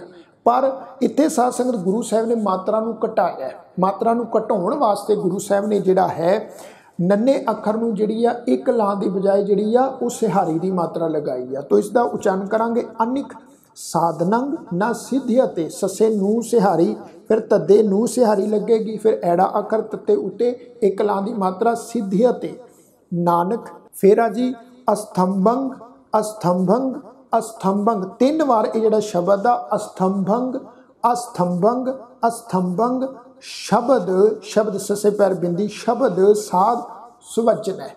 ਤੋ ਇਸ ਦਾ ਸਾਧ ਸੰਗਤ 17ਵੇਂ ਸ਼ਲੋਕ ਦਾ ਅਸੀਂ ਸਮੁੱਚੇ ਪਾਠ ਦਾ ਉਚਾਰਨ ਕਰਦੇ ਹਾਂ। ਜੀ ਇੱਕ ਵਾਰ ਇਹਨੂੰ ਸੁਣੋ।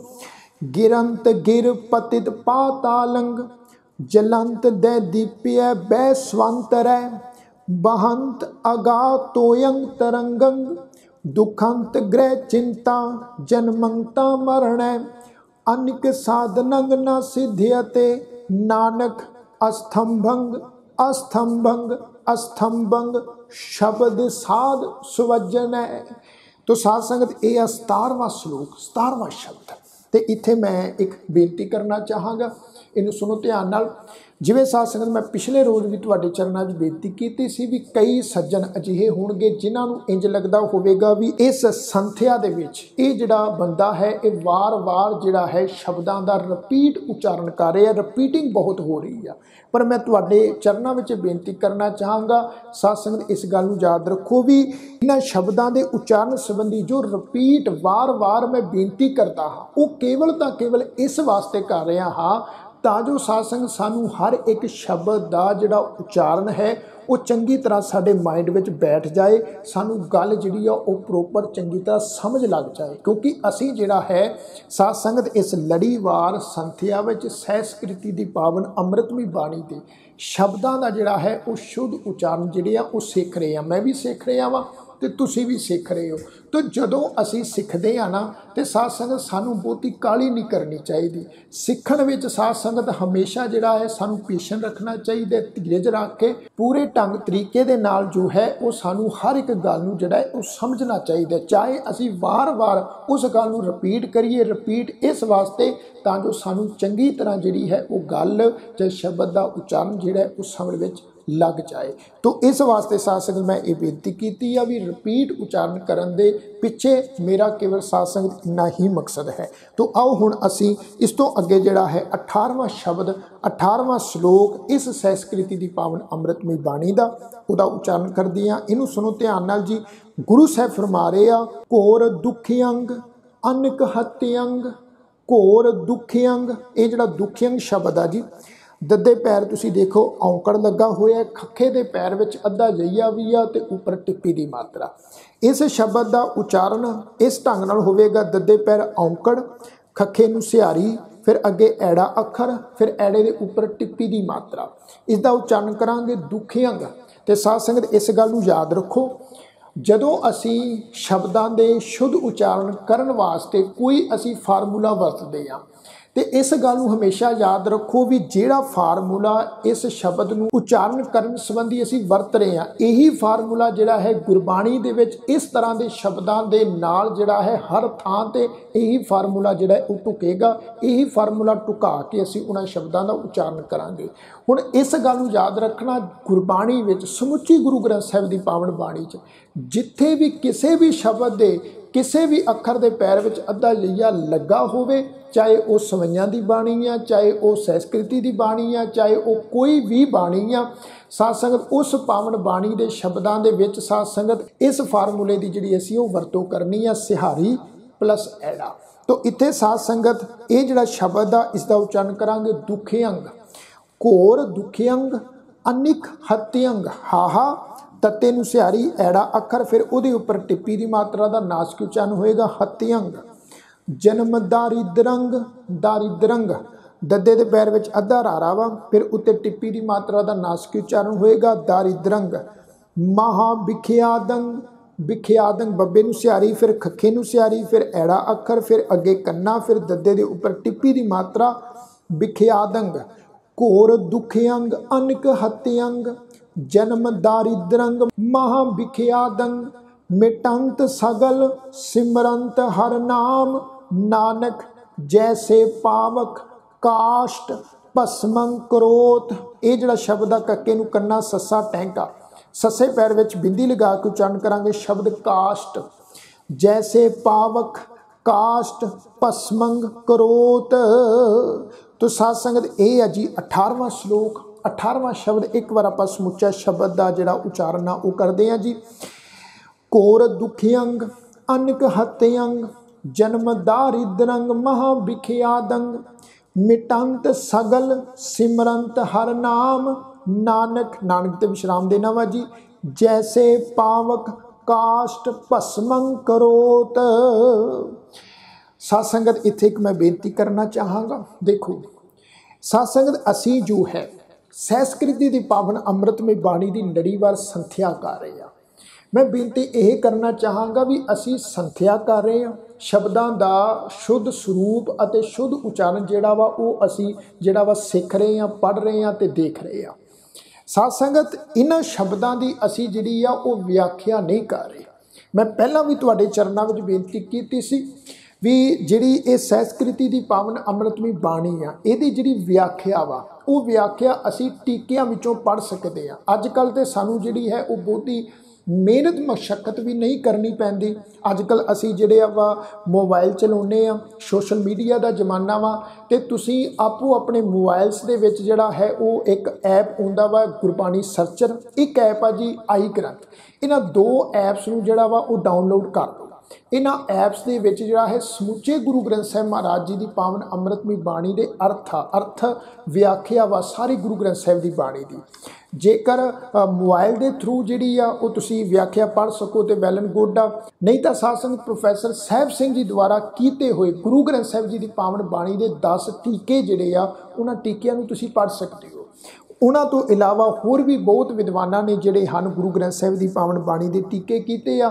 ਸਾਧ ਸੰਗਤ, ਉਹਨਾਂ ਟੀਕਿਆਂ ਦੇ ਵਿੱਚੋਂ ਸਹਿਸਕ੍ਰਿਤੀ ਦੀ ਪਾਵਨ ਅੰਮ੍ਰਿਤ ਵੀ ਬਾਣੀ ਦੀ ਤੁਸੀਂ ਵਿਆਖਿਆ ਪੜ੍ਹ ਸਕਦੇ ਹੋ, ਵਿਆਖਿਆ ਪੜ੍ਹ ਵੀ ਸਕਦੇ ਹੋ ਤੇ ਸੋਸ਼ਲ ਮੀਡੀਆ ਦੇ ਉੱਤੇ ਸਾਧ ਸੰਗਤ ਅੱਜ ਕੱਲ ਕਈ ਵਿਦਵਾਨਾਂ ਨੇ ਇਸ ਪਾਵਨ ਅੰਮ੍ਰਿਤਮਈ ਬਾਣੀ ਦੀ ਜਿਹੜੀ ਆ, ਉਹ ਵਿਆਖਿਆ ਕੀਤੀ ਵੀ ਹੋਈ ਆ। ਉਹਨਾਂ ਵਿਦਵਾਨਾਂ ਦੀ ਵਿਆਖਿਆ ਕਰਨ ਨਾਲ ਤੁਸੀਂ ਸੁਣ ਵੀ ਸਕਦੇ ਹੋ। ਪਰ ਆਓ ਗੁਰਬਾਣੀ ਸਿੱਖੀਏ ਇਸ ਪ੍ਰੋਗਰਾਮ ਦੇ ਵਿੱਚ। satsang ਜਿਵੇਂ ਮੈਂ ਪਹਿਲਾਂ ਵੀ ਤੁਹਾਡੇ ਚਰਨਾਂ 'ਚ ਬੇਨਤੀ ਕੀਤੀ ਸੀ ਵੀ ਮੇਰਾ ਜ਼ਿਆਦਾਤਰ ਜਿਹੜਾ ਫੋਕਸ ਆ, ਉਹ ਇਸ ਉੱਪਰ ਹੀ ਹੈ ਵੀ ਅਸੀਂ ਜੋ ਸ਼ਬਦਾਂ ਦਾ ਸ਼ੁੱਧ ਉਚਾਰਨ ਹੈ, ਉਹ ਘਰ ਬੈਠੇ satsang ਅਸੀਂ ਸਿੱਖ ਸਕੀਏ। ਟੀਕਿਆਂ ਦੀ ਵਿਆਖਿਆ ਅਸੀਂ ਫਿਰ ਵੀ ਪੜ ਲਵਾਂਗੇ, ਪਰ ਸ਼ਬਦਾਂ ਦਾ ਸ਼ੁੱਧ ਉਚਾਰਨ ਕਰਨਾ ਉਹ ਬੜਾ ਜ਼ਰੂਰੀ ਆ। ਤੇ ਇੱਕ ਗੱਲ ਹੋਰ ਯਾਦ ਰੱਖੋ ਜੇਕਰ satsang ਸਾਨੂੰ ਗੁਰਬਾਣੀ ਵਿਆਕਰਨ ਦੀ ਸਮਝ ਲੱਗ ਜਾਏ ਤੇ ਗੁਰਬਾਣੀ ਦੇ ਸ਼ਬਦਾਂ ਦਾ ਸ਼ੁੱਧ ਉਚਾਰਨ ਕਰਨਾ ਆ ਜਾਏ ਤੇ ਮੈਂ ਸਮਝਦਾ ਹਾਂ ਵੀ ਸਾਡੇ ਵਾਸਤੇ ਗੁਰਬਾਣੀ ਦੀ ਜਿਹੜੀ ਵਿਆਖਿਆ ਕਰਨੀ ਆ, ਉਹ ਬਹੁਤ ਸੌਖੀ ਹੋ ਜਾਏਗੀ। ਫਿਰ ਸਾਨੂੰ ਜਿਹੜਾ ਹੈ ਬਹੁਤ ਜਲਦੀ ਜਿਹੜੀ ਆ, ਬਹੁਤ ਸਾਰੇ ਸ਼ਬਦਾਂ ਦੀ ਜਿਹੜੀ ਵਿਆਖਿਆ ਵਾ, ਉਹ ਬਿਨਾਂ ਟੀਕਿਆਂ ਵਿੱਚੋਂ ਪੜਨ ਤੋਂ ਬਿਨਾਂ ਹੀ ਜਿਹੜੀ ਆ, ਉਹ ਸਾਨੂੰ ਆਪਣੇ ਆਪ ਸਮਝ ਲੱਗਣੀ ਸ਼ੁਰੂ ਹੋ ਜਾਏਗੀ। ਤੋਂ ਇਸ ਵਾਸਤੇ ਸਾਧ ਸੰਗਤ, ਇਹਨਾਂ ਸ਼ਬਦਾਂ ਦੇ ਉਚਾਰਨ ਨੂੰ ਤੁਸੀਂ ਸਿੱਖੋ।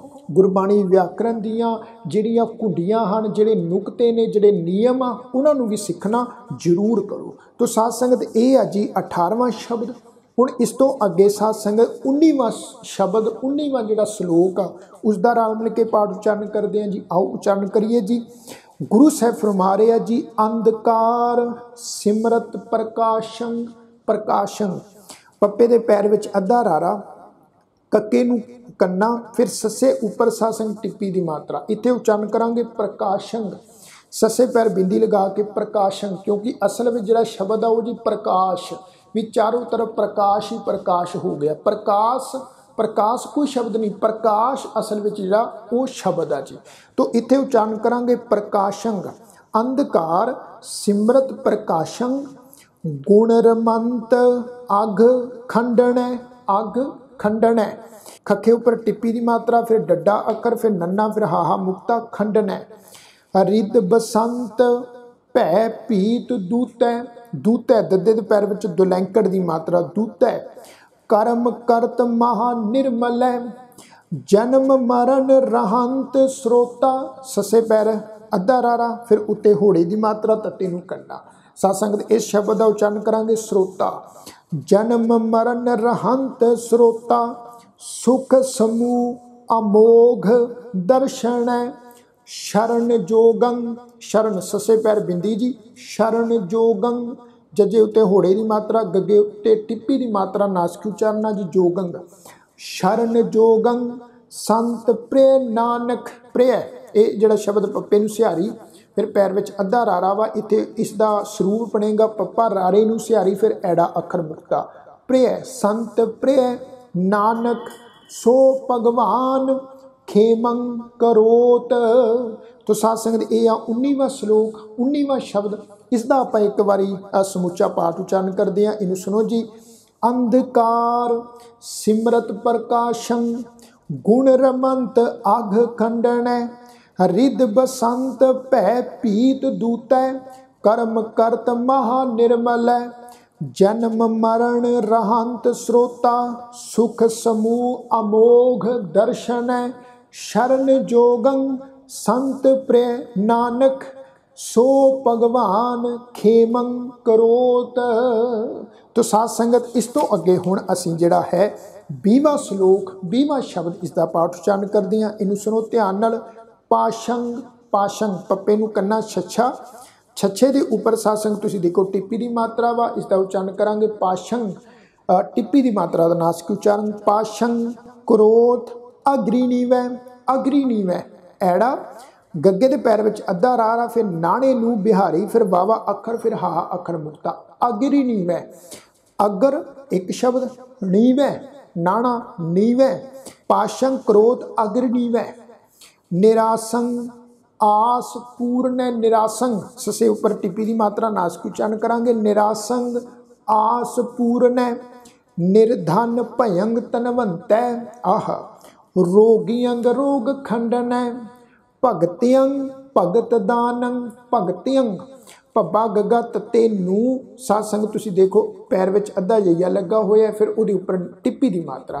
ਤੋਂ ਇੱਥੇ ਸਾਧ ਸੰਗ ਸਰੂਪ ਬਣੇਗਾ ਪੱਬਾ ਗੱਗਾ ਤੱਤੇ ਨੂੰ ਸਿਹਾਰੀ, ਫਿਰ ਐੜਾ ਅੱਖਰ ਉਹਦੇ ਉੱਪਰ ਟਿੱਪੀ ਦੀ ਮਾਤਰਾ ਦਾ ਨਾਸਕ ਉਚਾਰਨ ਕਰਾਂਗੇ। ਭਗਤਿਯੰਗ ਭਗਤ ਦਾ ਨੰਗ RAM ਨਾਮ ਗੁਣ ਕੀਰਤਨੈ, ਪਾਰ ਬ੍ਰਹਮ ਪੁਰਖ ਦਾਤਾਰੈ ਦਾਤਾਰੈ। ਦੱਦੇ ਨੂੰ ਕੰਨਾ, ਤੱਤੇ ਨੂੰ ਕੰਨਾ, ਰਾਰਾ, ਫਿਰ ਹਾਹਾ ਅੱਖਰ ਮੁਕਤਾ, ਦਾਤਾਰੈ। ਪਾਰ ਬ੍ਰਹਮ ਪੁਰਖ ਦਾਤਾਰੈ ਨਾਨਕ ਨਾਨਕ ਤੇ ਵਿਸ਼ਰਾਮ ਵਿਸ਼ਰਾਮਾ ਜੀ।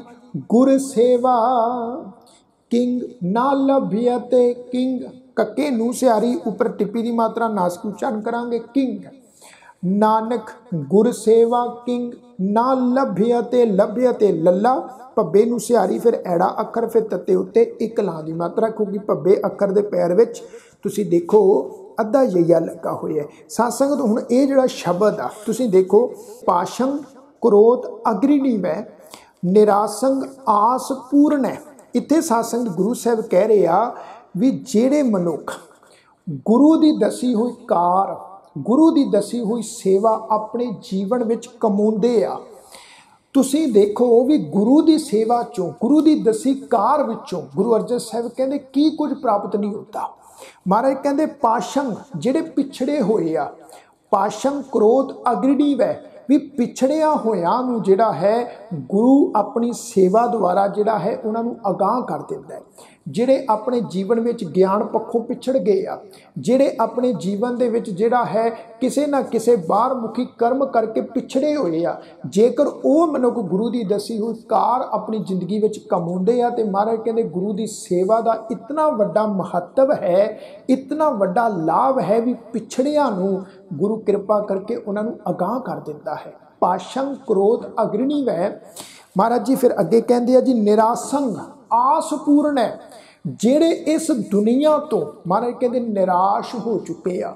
ਨਿਰਾਸ਼ ਬੰਦਿਆਂ ਦੀਆਂ, ਮਨ ਦੀਆਂ ਫਿਰ ਆਸਾਵਾਂ ਪੂਰੀਆਂ ਹੋ ਜਾਂਦੀਆਂ ਨੇ। ਜੇਕਰ ਉਹ ਗੁਰੂ ਦੀ ਦਸੀ ਕਾਰ ਆਪਣੀ ਜ਼ਿੰਦਗੀ ਵਿੱਚ ਕਮਾਉਂਦੇ ਆ, ਫਿਰ ਮਹਾਰਾਜ ਕਹਿੰਦੇ ਨਿਰਧਨ ਭਯੰਗ ਤਨਵੰਤ ਹੈ। ਜਿਨ੍ਹਾਂ ਦੇ ਕੋਲ ਧਨ ਕੋਈ ਨਹੀਂ। ਜਿਹੜੇ ਅੰਦਰੋਂ ਵੀ ਖਾਲੀ ਆ ਨਾਮ ਰੂਪੀ ਧਨ ਵਾਲੇ ਪੱਖੋਂ, ਆਤਮਿਕ ਜੀਵਨ ਵਾਲੇ ਪੱਖੋਂ ਖਾਲੀ ਆ, ਬਾਹਰ ਮੁਖੀ ਤੌਰ ਉਤੇ ਵੀ ਉਹ ਨਿਰਧਨ ਨੇ ਗਰੀਬ ਨੇ। ਮਹਾਰਾਜ ਕਹਿੰਦੇ ਵੀ ਜਿਹੜੇ ਮਨੁੱਖ ਗੁਰੂ ਦੀ ਦਸੀ ਕਾਰ ਆਪਣੀ ਜ਼ਿੰਦਗੀ 'ਚ ਕਮਾਉਣਗੇ, ਉਹ ਤਾਂ ਬਾਹਰ ਪੱਖੋਂ ਵੀ ਜਿਹੜੇ ਆ ਉਹ ਖੁਸ਼ਹਾਲੀ ਵਾਲਾ ਜੀਵਨ ਬਤੀਤ ਕਰਨਗੇ ਤੇ ਉਹਨਾਂ ਦਾ ਆਤਮਿਕ ਜੀਵਨ ਜਿਹੜਾ ਵਾ ਉਹ ਵੀ ਸਬਰ ਜਾਏਗਾ, ਆਤਮਿਕ ਪੱਖੋਂ ਵੀ ਜਿਹੜੇ ਆ ਉਹ ਅਮੀਰ ਹੋ ਜਾਣਗੇ, ਉਹ ਧਨਵਾਨ ਬਣ ਜਾਣਗੇ। ਮਹਾਰਾਜ ਕਹਿੰਦੇ ਰੋਗੀਅੰਗ ਆਹ, ਰੋਗ ਖੰਡਣ ਹੈ। ਜਿਹੜੇ ਆਤਮਿਕ ਜੀਵਨ ਪੱਖੋਂ ਮਹਾਰਾਜ ਕਹਿੰਦੇ ਪੰਜ ਵਿਸ਼ੇ ਵਕਾਰਾਂ ਦੇ ਨਾਲ ਜਿਹੜੇ ਆ ਉਹ ਪੀੜਤ ਹੋ ਚੁੱਕੇ ਆ, ਰੋਗੀ ਬਣ ਚੁੱਕੇ ਆ, ਜਿਨ੍ਹਾਂ ਨੂੰ ਹੰਕਾਰ ਦਾ ਰੋਗ ਲੱਗਾ ਹੋਇਆ ਹੈ, ਜਿਨ੍ਹਾਂ ਨੂੰ ਕਾਮ ਦਾ ਰੋਗ ਸਤਾਉਂਦਾ ਹੈ, ਜਿਨ੍ਹਾਂ ਨੂੰ ਕ੍ਰੋਧ ਦਾ ਰੋਗ ਸਤਾਉਂਦਾ ਹੈ, ਕਿਉਂਕਿ ਇਸ ਗੱਲ ਨੂੰ ਯਾਦ ਰੱਖੋ, ਸਾਧ ਸੰਗਤ ਸਾਡੇ ਸਰੀਰ ਦੇ ਰੋਗਾਂ ਨਾਲੋਂ ਜ਼ਿਆਦਾ ਨਾ ਸਾਡੇ ਮਨ ਨੂੰ ਜਿਹੜੇ ਆ ਉਹ ਰੋਗ ਲੱਗੇ ਹੋਏ ਆ। ਸਰੀਰ ਦੀ ਤਾਂ ਫਿਰ ਵੀ ਅਸੀਂ ਜਿਹੜੀ ਆ ਉਹ ਬਾਹਰਮੁਖੀ ਤੌਰ ਤੇ ਮੈਡੀਸਿਨ ਲੈ ਲੈਨੇ ਆ, ਦਵਾਈ ਲੈ ਲੈਨੇ ਆ, ਸਰੀਰ ਸਾਡਾ ਫਿਰ ਵੀ ਜਿਹੜਾ ਹੈ, ਸਾਧ ਸੰਗਤ ਕਈ ਤਰ੍ਹਾਂ ਨਾਲ ਤੰਦਰੁਸਤ ਹੋ ਜਾਂਦਾ ਹੈ। ਪਰ ਜਿਹੜੇ ਸਾਧ ਸੰਗਤ ਅੰਦਰ ਰੋਗ ਲੱਗੇ ਹੋਏ ਨੇ ਨਾ ਭੈੜੇ ਭੈੜੇ, ਜਿਹਨੂੰ ਮਹਾਰਾਜ ਬਾਣੀ ਵਿੱਚ ਕਹਿੰਦੇ ਆ ਵੀ ਹਉਮੈ ਦਿਰਗ ਰੋਗ ਹੈ दारू ਪੀਸ ਮਾਹੇ, ਜਿਹੜਾ ਹਉਮੈ ਦਾ, ਹੰਕਾਰ ਦਾ, ਇਹ ਸਾਰੀ ਦੁਨੀਆ ਨੂੰ ਜਿਹੜਾ ਰੋਗ ਲੱਗਾ ਹੋਇਆ ਹੈ। ਮਹਾਰਾਜ ਕਹਿੰਦੇ ਇਹ ਜਿਹੜਾ ਰੋਗ ਹੈ, ਉਹਨਾਂ ਵਿਅਕਤੀਆਂ ਦਾ ਕਟਿਆ ਜਾਂਦਾ ਹੈ, ਜਿਹੜੇ ਮਨੁੱਖ ਗੁਰੂ ਦੀ ਦਸੀ ਕਾਰ, ਗੁਰੂ ਦੀ ਦਸੀ ਸੇਵਾ ਆਪਣੀ ਜ਼ਿੰਦਗੀ 'ਚ ਕਮਾਉਂਦੇ ਆ। ਮਹਾਰਾਜ ਕਹਿੰਦੇ ਰੋਗੀਅੰਗ, ਰੋਗ ਖੰਡਣਾ ਭਗਤੀ ਅੰਗ, ਭਗਤ ਦਾਨੰਗ ਮਹਾਰਾਜ ਜੀ ਕਹਿੰਦੇ ਜਿਹੜੇ ਭਗਤ ਜਨ ਹਨ, ਉਹਨਾਂ ਦੀ ਝੋਲੀ ਵਿੱਚ ਪਰਮੇਸ਼ਵਰ ਦੀ ਰੱਬ ਦੀ ਭਗਤੀ ਦਾ ਦਾਨ ਗੁਰੂ ਪਾ ਦਿੰਦਾ ਹੈ। ਜਿਹੜੇ ਗੁਰੂ ਦੀ ਦਸੀ ਕਾਰ ਜ਼ਿੰਦਗੀ 'ਚ ਕਮਾਉਂਦੇ ਆ, ਰਾਮ ਨਾਮ ਗੁਣ ਕੀਰਤਨ ਹੈ, ਉਹ ਰਮੇ ਹੋਏ ਪਰਮੇਸ਼ਵਰ ਦਾ ਜਿਹੜਾ ਹੈ ਨਾਮ ਸਿਮਰਦੇ ਆ, ਪਰਮੇਸ਼ਵਰ ਦੀ ਕੀਰਤੀ ਕਰਦੇ ਆ, ਪਰਮੇਸ਼ਵਰ ਦੇ ਗੁਣ ਗਾਉਂਦੇ ਆ। ਪਾਰ ਬ੍ਰਹਮ ਪੁਰਖ ਦਾਤਾਰ ਹੈ ਮਹਾਰਾਜ ਜੀ ਕਹਿੰਦੇ, ਇਸ ਗੱਲ ਨੂੰ ਯਾਦ ਰੱਖੋ ਵੀ ਜੋ ਪਰਮੇਸ਼ਵਰ ਪਾਰ ਬ੍ਰਹਮ ਹੈ, ਜਿਹਦਾ ਪਾਰਾਵਾਰ ਨਹੀਂ ਪਾਇਆ ਜਾ ਸਕਦਾ, ਜੋ ਸਰਬ ਵਿਆਪੀ ਹੈ, ਪੁਰਖ ਹੈ ਦਾਤਾਰ ਹੈ ਜੋ ਸਾਰਿਆਂ ਦੇ ਸਿਰ ਦਾ ਦਾਤਾ ਹੈ ਸਾਰੀ ਖਲਕਤ ਨੂੰ ਜੋ ਦਾਤਾਂ ਦਿੰਦਾ ਹੈ ਮਹਾਰਾਜ ਕਹਿੰਦੇ हे ਨਾਨਕ हे ਭਾਈ, ਤੂੰ ਐਸੇ ਸਰਵ ਸ਼ਕਤੀਮਾਨ ਪਰਮੇਸ਼ਵਰ ਨੂੰ, ਅਕਾਲ ਪੁਰਖ ਵਾਹਿਗੁਰੂ ਨੂੰ ਗੁਰੂ ਦੀ ਦਸੀ ਕਾਰ ਕਰਕੇ, ਗੁਰੂ ਦੀ ਦਸੀ ਸੇਵਾ ਆਪਣੀ ਜ਼ਿੰਦਗੀ 'ਚ ਕਮਾ ਕੇ ਕਿਉਂ ਨਹੀਂ ਮਿਲ ਜਾਂਦਾ? ਕਿਉਂ ਨਹੀਂ ਉਹਨੂੰ ਲੱਭਦਾ? ਤੋ ਸਾਧ ਸੰਗਤ ਤੁਸੀਂ ਦੇਖੋ, ਗੁਰੂ ਅਰਜਨ ਸਾਹਿਬ ਮਹਾਰਾਜ ਜੀ ਨੇ ਇਸ 20ਵੇਂ ਸ਼ਲੋਕ ਵਿੱਚ 20ਵੇਂ ਸ਼ਬਦ ਵਿੱਚ ਕਿੰਨੀ ਸੁੰਦਰ ਵਿਚਾਰ ਜਿਹੜੀ ਆ, ਉਹ ਸਾਡੇ ਸਾਹਮਣੇ ਰੱਖੀ ਆ। ਅਰਦਾਸ ਬੇਨਤੀ ਕਰਿਆ ਕਰੋ ਗੁਰੂ ਚਰਨਾਂ ਵਿੱਚ ਵੀ ਸਤਿਗੁਰੂ ਜੀ ਸਾਡੇ ਤੇ ਕਿਰਪਾ ਕਰ ਸਾਨੂੰ ਆਪਣੀ ਕਾਰ ਦੇ ਨਾਲ, ਸਾਨੂੰ ਆਪਣੇ ਦਰ ਘਰ ਦੀ ਸੇਵਾ ਦੇ ਨਾਲ ਜੁੜੀ ਰੱਖ, ਸਾਨੂੰ ਖਲਕਤ ਦੀ ਸੇਵਾ ਨਾਲ ਜੋੜੀ ਰੱਖ, ਸਾਡੇ ਅੰਦਰ ਜਿਹੜੇ ਰੋਗ ਆ, ਹਉਮੈ ਦਾ ਰੋਗ, ਕਾਮ ਦਾ ਰੋਗ ਕ੍ਰੋਧ ਦਾ ਰੋਗ ਇਹਨਾਂ ਰੋਗਾਂ ਤੋਂ ਜਿਹੜਾ ਹੈ ਸਾਡਾ ਮਨ ਬਚ ਸਕੇ, ਸਾਡੀ ਆਤਮਾ ਬਚ ਸਕੇ, ਅਸੀਂ ਆਤਮਿਕ ਪੱਖੋਂ ਵੀ ਖੁਸ਼ਹਾਲ ਹੋ ਸਕੀਏ ਤੇ ਬਾਹਰ ਮੁਖੀ ਜੀਵਨ ਪੱਖੋਂ ਵੀ ਅਸੀਂ ਖੁਸ਼ਹਾਲ ਹੋ ਸਕੀਏ। ਤੋਂ ਸਾਧ ਸੰਗਤ, ਇਹ ਆ ਜੀ 20ਵਾਂ ਸ਼ਲੋਕ, ਹੁਣ ਇਸ ਤੋਂ ਅੱਗੇ ਜਿਹੜਾ ਹੈ 21ਵਾਂ ਸ਼ਲੋਕ, ਸਾਧ ਸੰਗਤ, ਇਹਦਾ ਰਲ ਮਿਲ ਕੇ ਪਾਠ ਉਚਾਰਨ ਕਰਦੇ ਆ ਆਉ ਉਚਾਰਨ ਕਰੀ ਜੀ, ਇਹਨੂੰ ਸੁਣੋ। ਅਤਰੰਗ, ਤਰੰਗ ਹੈ ਅਤਰੰਗ ਐੜਾ ਤੱਦਾ ਰਾਰੇ ਉੱਪਰ ਟਿੱਪੀ ਦੀ ਮਾਤਰਾ। ਨਾਸ ਕਿਉ ਉਚਾਰਨ ਕਰਾਂਗੇ? ਐੜਾ ਅੱਖਰ ਅਗੇਤਰ ਆ ਜੀ।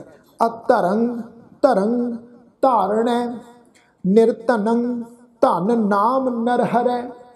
ਅਨਾਥ ਨਾਥ ਗੋਬਿੰਦੈ, ਅਨਾਥ ਨਾਥ ਗੋਬਿੰਦੈ। ਬਲਹੀਣ ਬਲ ਕੇਸ਼ਵੈ ਕੇਸ਼ਵੈ ਕੱਕੇ ਉੱਪਰ ਇੱਕ ਲਾਂ ਦੀ ਮਾਤਰਾ, ਫਿਰ ਸੱਸਾ ਸੱਸੇ ਪੈਰ ਬਿੰਦੀ ਲਗਾ ਕੇ ਪਾਠ ਉਚਾਰਨ ਕਰਾਂਗੇ। ਕੇਸ਼ਵੈ ਬਲਹੀਣ ਬਲ ਕੇਸ਼ਵੈ ਸਰਬ ਭੂਤ ਦਇਆਲ ਅਚੁੱਤ। ਦੀਨ ਬਾਂਧਵ ਦਾਮੋਦਰੈ, ਦੀਨ ਬਾਂਧਵ ਦਾਮੋਦਰੈ। ਦੱਦੇ ਨੂੰ ਕੰਨਾ ਲੱਗਾ ਹੋਇਆ, ਦਾਮੋਦਰੈ। ਸਰਬਗਿਆ ਪੂਰਨ ਪੁਰਖ ਭਗਵਾਨੈ, ਸਰਬਗਿਆ। ਸੱਸਾ ਰਾਰਾ ਬੱਬਾ ਫਿਰ ਗੱਗੇ ਦੇ ਪੈਰ ਵਿੱਚ ਤੁਸੀਂ ਦੇਖੋ ਅੱਧਾ ਜਿਹਾ ਲੱਗਾ। ਇਸ ਦਾ ਉਚਾਰਨ ਕਰਾਂਗੇ ਸਰਬਗਿਆ ਗੱਗੇ ਨੂੰ ਸਿਹਾਰੀ, ਫਿਰ ਐੜਾ ਅੱਖਰ ਮੁਕਤਾ। ਸਰਬਗਿਆ ਸਰਬਗਿਆ ਪੂਰਨ ਪੁਰਖ ਭਗਵਾਨੈ ਭਗਤ ਵਸ਼ਲ, ਕਰੁਣਾ ਮੈਂ ਕਰੁਣਾ ਮੈਂ। ਫਿਰ ਅਜੀ ਘਟ ਘਟ ਬਸੰਤ, ਬਾਸੁਦੇਵੈ ਬਾਸੁਦੇਵੈ। ਬੱਬੇ ਨੂੰ ਕੰਨਾ, ਸੱਸੇ ਪੈਰ ਔਂਕੜ ਦੀ ਮਾਤਰਾ ਦੱਦੇ ਉਤੇ ਇਕਲਾ, ਫਿਰ ਵਾਵਾ ਅੱਖਰ, ਫਿਰ ਹਾਹਾ ਅੱਖਰ। ਬਾਸੁਦੇਵੈ ਘਟ ਘਟ ਬਸੰਤ ਬਾਸੁਦੇਵੈ ਪਾਰ ਬ੍ਰਹਮ ਪਰਮੇਸ਼ੁਰ ਹੈ ਪਰਮੇਸ਼ੁਰ ਹੈ ਸੱਸੇ ਪੈਰ ਬਿੰਦੀ ਲਗਾ ਕੇ ਪਰਮੇਸ਼ੁਰ ਹੈ ਸੱਸੇ ਪੈਰ ਔਂਕੜ ਦੀ ਵੀ ਜਿਹੜੀ ਮਾਤਰਾ ਵਾ ਖਿਆਲ ਰੱਖੋ ਇਸ ਦਾ ਵੀ ਉਚਾਰਨ ਕਰਾਂਗੇ ਜੀ। ਜਾ ਚੰਤ ਨਾਨਕ, ਕਿਰਪਾਲ ਪ੍ਰਸਾਦੰ, ਕਿਰਪਾਲ ਕੱਕੇ ਨੂੰ ਤੁਸੀਂ ਦੇਖੋ ਸਿਹਾਰੀ ਲੱਗੀ ਆ, ਕੱਕੇ ਪੈਰ ਵਿੱਚ ਅੱਧਾ ਰਾਰਾ ਵੀ ਲੱਗਾ ਹੋਇਆ। ਇਸ ਦਾ ਪਾਠ ਜਿਹੜਾ ਕੱਕਾ ਰਾਰੇ ਨੂੰ ਸਿਆਰੀ, ਫਿਰ ਪੱਪੇ ਨੂੰ ਕੰਨਾ, ਫਿਰ ਲੱਲਾ ਅੱਖਰ। ਇਸ ਢੰਗ ਨਾਲ ਉਚਾਰਨ ਕਰਾਂਗੇ ਜੀ ਕਿਰਪਾਲ। ਜਾ ਚੰਤ ਨਾਨਕ, ਕਿਰਪਾਲ ਪ੍ਰਸਾਦੰਗ ਨਹਿ ਬਿਸਰੰਤ ਨਹਿ ਬਿਸਰੰਤ। ਨਾਰਾਇਣ ਨਾਰਾਇਣ। ਨੰਨੇ ਨੂੰ ਕੰਨਾ, ਰਾਰੇ ਨੂੰ ਕੰਨਾ, ਫਿਰ ਈੜੀ ਨੂੰ ਸਿਹਾਰੀ, ਫਿਰ ਨਾਣਾ ਅੱਖਰ, ਫਿਰ ਹਾਹਾ ਅੱਖਰ ਮੁਕਤਾ। ਨਾਰਾਇਣ। ਹੈ ਤੋ ਸਮੁੱਚਾ ਪਾਠ ਆ ਜੀ, ਇੱਕ ਵਾਰ ਫਿਰ ਤੋਂ ਸੁਣੋ। ਅਤਰੰਗ ਤਰੰਗ ਧਾਰਣ, ਨਿਰਧਨੰਗ ਧਨ ਨਾਮ ਨਰਹਰੈ। ਅਨਾਥ ਨਾਥ ਗੋਬਿੰਦੈ ਬਲਹੀਣ ਬਲ ਕੇਸ਼ਵੈ ਸਰਬ ਭੂਤ ਦਇਆਲ ਅਚੁਤ ਆਹ ਦੀਨ ਬਾਂਧਵ ਦਾਮੋਦਰੈ ਸਰਬਗਿਆ ਪੂਰਨ ਪੁਰਖ ਭਗਵਾਨੈ ਭਗਤ ਵਸ਼ਲ ਕਰੁਣਾ ਮੈਂ ਘਟ ਘਟ ਬਸੰਤ ਬਾਸੁਦੇਵੈ ਪਾਰ ਬ੍ਰਹਮ ਪਰਮੇਸ਼ਵਰੈ ਜਾਚੰਤ ਨਾਨਕ ਕਿਰਪਾਲ ਪ੍ਰਸਾਦੰ ਨਹਿ ਬਿਸਰੰਤ ਨਹਿ ਬਿਸਰੰਤ ਨਾਰਾਇਣ ਤੋ ਸਾਧ ਸੰਗਤ, ਇਹ ਹੈ ਜੀ 21ਵਾਂ ਸ਼ਲੋਕ। ਹੁਣ ਇਸ ਤੋਂ ਅੱਗੇ ਸਾਧ ਸੰਗਤ 22ਵਾਂ ਸ਼ਲੋਕ, ਇਸ ਦਾ ਜਿਹੜਾ ਪਾਠ ਆ, ਇਹਨੂੰ ਸੁਣੋ ਧਿਆਨ ਨਾਲ ਜੀ। ਨਹਿ ਸਮਰਥੰ, ਨਹਿ ਸੇਵਕੰ, ਨਹਿ ਪ੍ਰੀਤ ਪਰਮ ਪੁਰਖੋਤਮੰ। ਇਥੇ ਸਾਧ ਸੰਗਤ ਖਿਆਲ ਰੱਖੋ, ਸ਼ਬਦ ਹੈ ਜੀ ਨਹਿ ਸਮਰਥੰਗ ਥੱਥੇ ਉੱਪਰ ਟਿੱਪੀ ਦੀ ਮਾਤਰਾ ਨਾਸਕ ਉਚਾਰਨ ਕਰਾਂਗੇ ਸਮਰਥੰਗ ਨਹਿ ਸੇਵਕੰਗ ਕੱਕੇ ਉੱਪਰ ਟਿੱਪੀ ਦੀ ਮਾਤਰਾ ਨਾਸਕ ਉਚਾਰਨਾ ਜੀ ਸੇਵਕੰਗ ਨਹਿ ਪ੍ਰੀਤ ਪਰਮ ਪੁਰਖੋਤਮੰ ਮਮੇ ਉੱਪਰ ਟਿੱਪੀ ਦੀ ਮਾਤਰਾ ਨਾਸਕੀ ਉਚਾਰਨਾ ਜੀ? ਤਵ ਪ੍ਰਸਾਦ ਸਿਮਰਤੇ ਨਾਮੰ, ਨਾਨਕ ਨਾਨਕ ਤੇ ਵਿਸ਼ਰਾਮ ਦਵਾਂਗੇ ਜੀ। ਕਿਰਪਾਲ ਹਰ ਹਰ ਗੁਰੰ, ਕਿਰਪਾਲ ਕੱਕੇ ਨੂੰ ਜਿਹੜੀ ਹੈ ਸਿਹਾਰੀ, ਉਹ ਰਾਰੇ ਨੂੰ ਸਿਹਾਰੀ ਲਾ ਕੇ ਉਚਾਰਨ ਹੋਏਗੀ। ਕਿਰਪਾਲ ਹਰ ਹਰ ਗੁਰੰਗ ਤੋਂ ਸਾਧ ਸੰਗਤ, ਇਹ 22ਵੇਂ ਸ਼ਲੋਕ ਦਾ ਸਮੁੱਚਾ ਪਾਠ ਹੈ ਜੀ। ਇੱਕ ਵਾਰ ਫਿਰ ਤੋਂ ਸੁਣੋ। ਨਹਿ ਸਮਰਥੰ, ਨਹਿ ਸੇਵਕੰ, ਆਹ। ਨਹਿ ਪ੍ਰੀਤ ਪਰਮ ਪੁਰਖੋਤਮੰ ਤਵ ਪ੍ਰਸਾਦ ਸਿਮਰਤੇ ਨਾਮੰ, ਨਾਨਕ ਕਿਰਪਾਲ ਹਰ ਹਰ ਗੁਰੰ। ਤੋ ਸਾਧ ਸੰਗਤ, ਇਹ ਆ 22ਵਾਂ ਸ਼ਲੋਕ 22ਵਾਂ ਸ਼ਬਦ। ਹੁਣ ਇਸ ਤੋਂ ਅੱਗੇ ਜਿਹੜਾ ਹੈ, ਉਹ 23ਵਾਂ ਸ਼ਲੋਕ 23ਵਾਂ ਸ਼ਬਦ ਆ, ਇਸ ਦਾ ਉਚਾਰਨ ਕਰਾਂਗੇ। ਪਰ ਇੱਥੇ ਸਾਧ ਸੰਗਤ, ਮੈਂ ਬੇਨਤੀ ਕਰਨਾ ਚਾਹਾਂਗਾ ਵੀ ਮੈਂ ਆਸ ਕਰਦਾ ਹਾਂ, ਉਮੀਦ ਕਰਦਾ ਹਾਂ ਵੀ ਗੁਰੂ ਸਾਹਿਬ ਦੀ ਦਇਆ ਨਾਲ, ਗੁਰੂ ਸਾਹਿਬ ਦੀ ਕਿਰਪਾ ਦੇ ਨਾਲ ਜਿਤਨੇ ਵੀ ਸ਼ਬਦਾਂ ਦਾ ਅਸੀਂ ਉਚਾਰਨ ਸਿੱਖ ਰਹੇ ਹਾਂ, ਉਚਾਰਨ ਕਰ ਰਹੇ ਹਾਂ, ਉਹ ਆਪ ਸਮੂਹ ਸਿੱਖ ਸੰਗਤਾਂ ਨੂੰ ਜਿਹੜਾ ਹੈ ਉਹ ਜ਼ਰੂਰ ਸਮਝ ਵਿੱਚ ਆ ਰਿਹਾ ਹੋਵੇਗਾ। ਸਾਧ ਸੰਗਤ ਹਮੇਸ਼ਾ ਕੋਸ਼ਿਸ਼ ਕਰਿਆ ਕਰੋ ਵੀ ਵੱਧ ਤੋਂ ਵੱਧ ਅਸੀਂ ਗੁਰੂ ਗ੍ਰੰਥ ਸਾਹਿਬ ਦੀ ਪਾਵਨ ਬਾਣੀ ਨੂੰ ਪੜ੍ਹੀਏ ਤੇ ਗੁਰੂ ਗ੍ਰੰਥ ਸਾਹਿਬ ਦੀ ਪਾਵਨ ਬਾਣੀ ਨੂੰ ਆਪ ਵੀ ਸਿੱਖੀਏ ਤੇ ਹੋਰਨਾਂ ਸਿੱਖ ਸੰਗਤਾਂ ਨਾਲ ਵੀ ਵੱਧ ਤੋਂ ਵੱਧ ਇਸ ਪਾਵਨ ਬਾਣੀ ਦੀ ਸੰਥਿਆ ਨੂੰ ਜ਼ਰੂਰ ਸ਼ੇਅਰ ਕਰੀਏ। ਸਾਧ ਸੰਗਤ ਮੈਂ ਹਮੇਸ਼ਾ ਬੇਨਤੀ ਕਰਦਾ ਹੁੰਨਾ ਵੀ ਆਓ ਗੁਰਬਾਣੀ ਸਿੱਖੀਏ ਦੇ ਹਰ ਇੱਕ ਪ੍ਰੋਗਰਾਮ ਨੂੰ।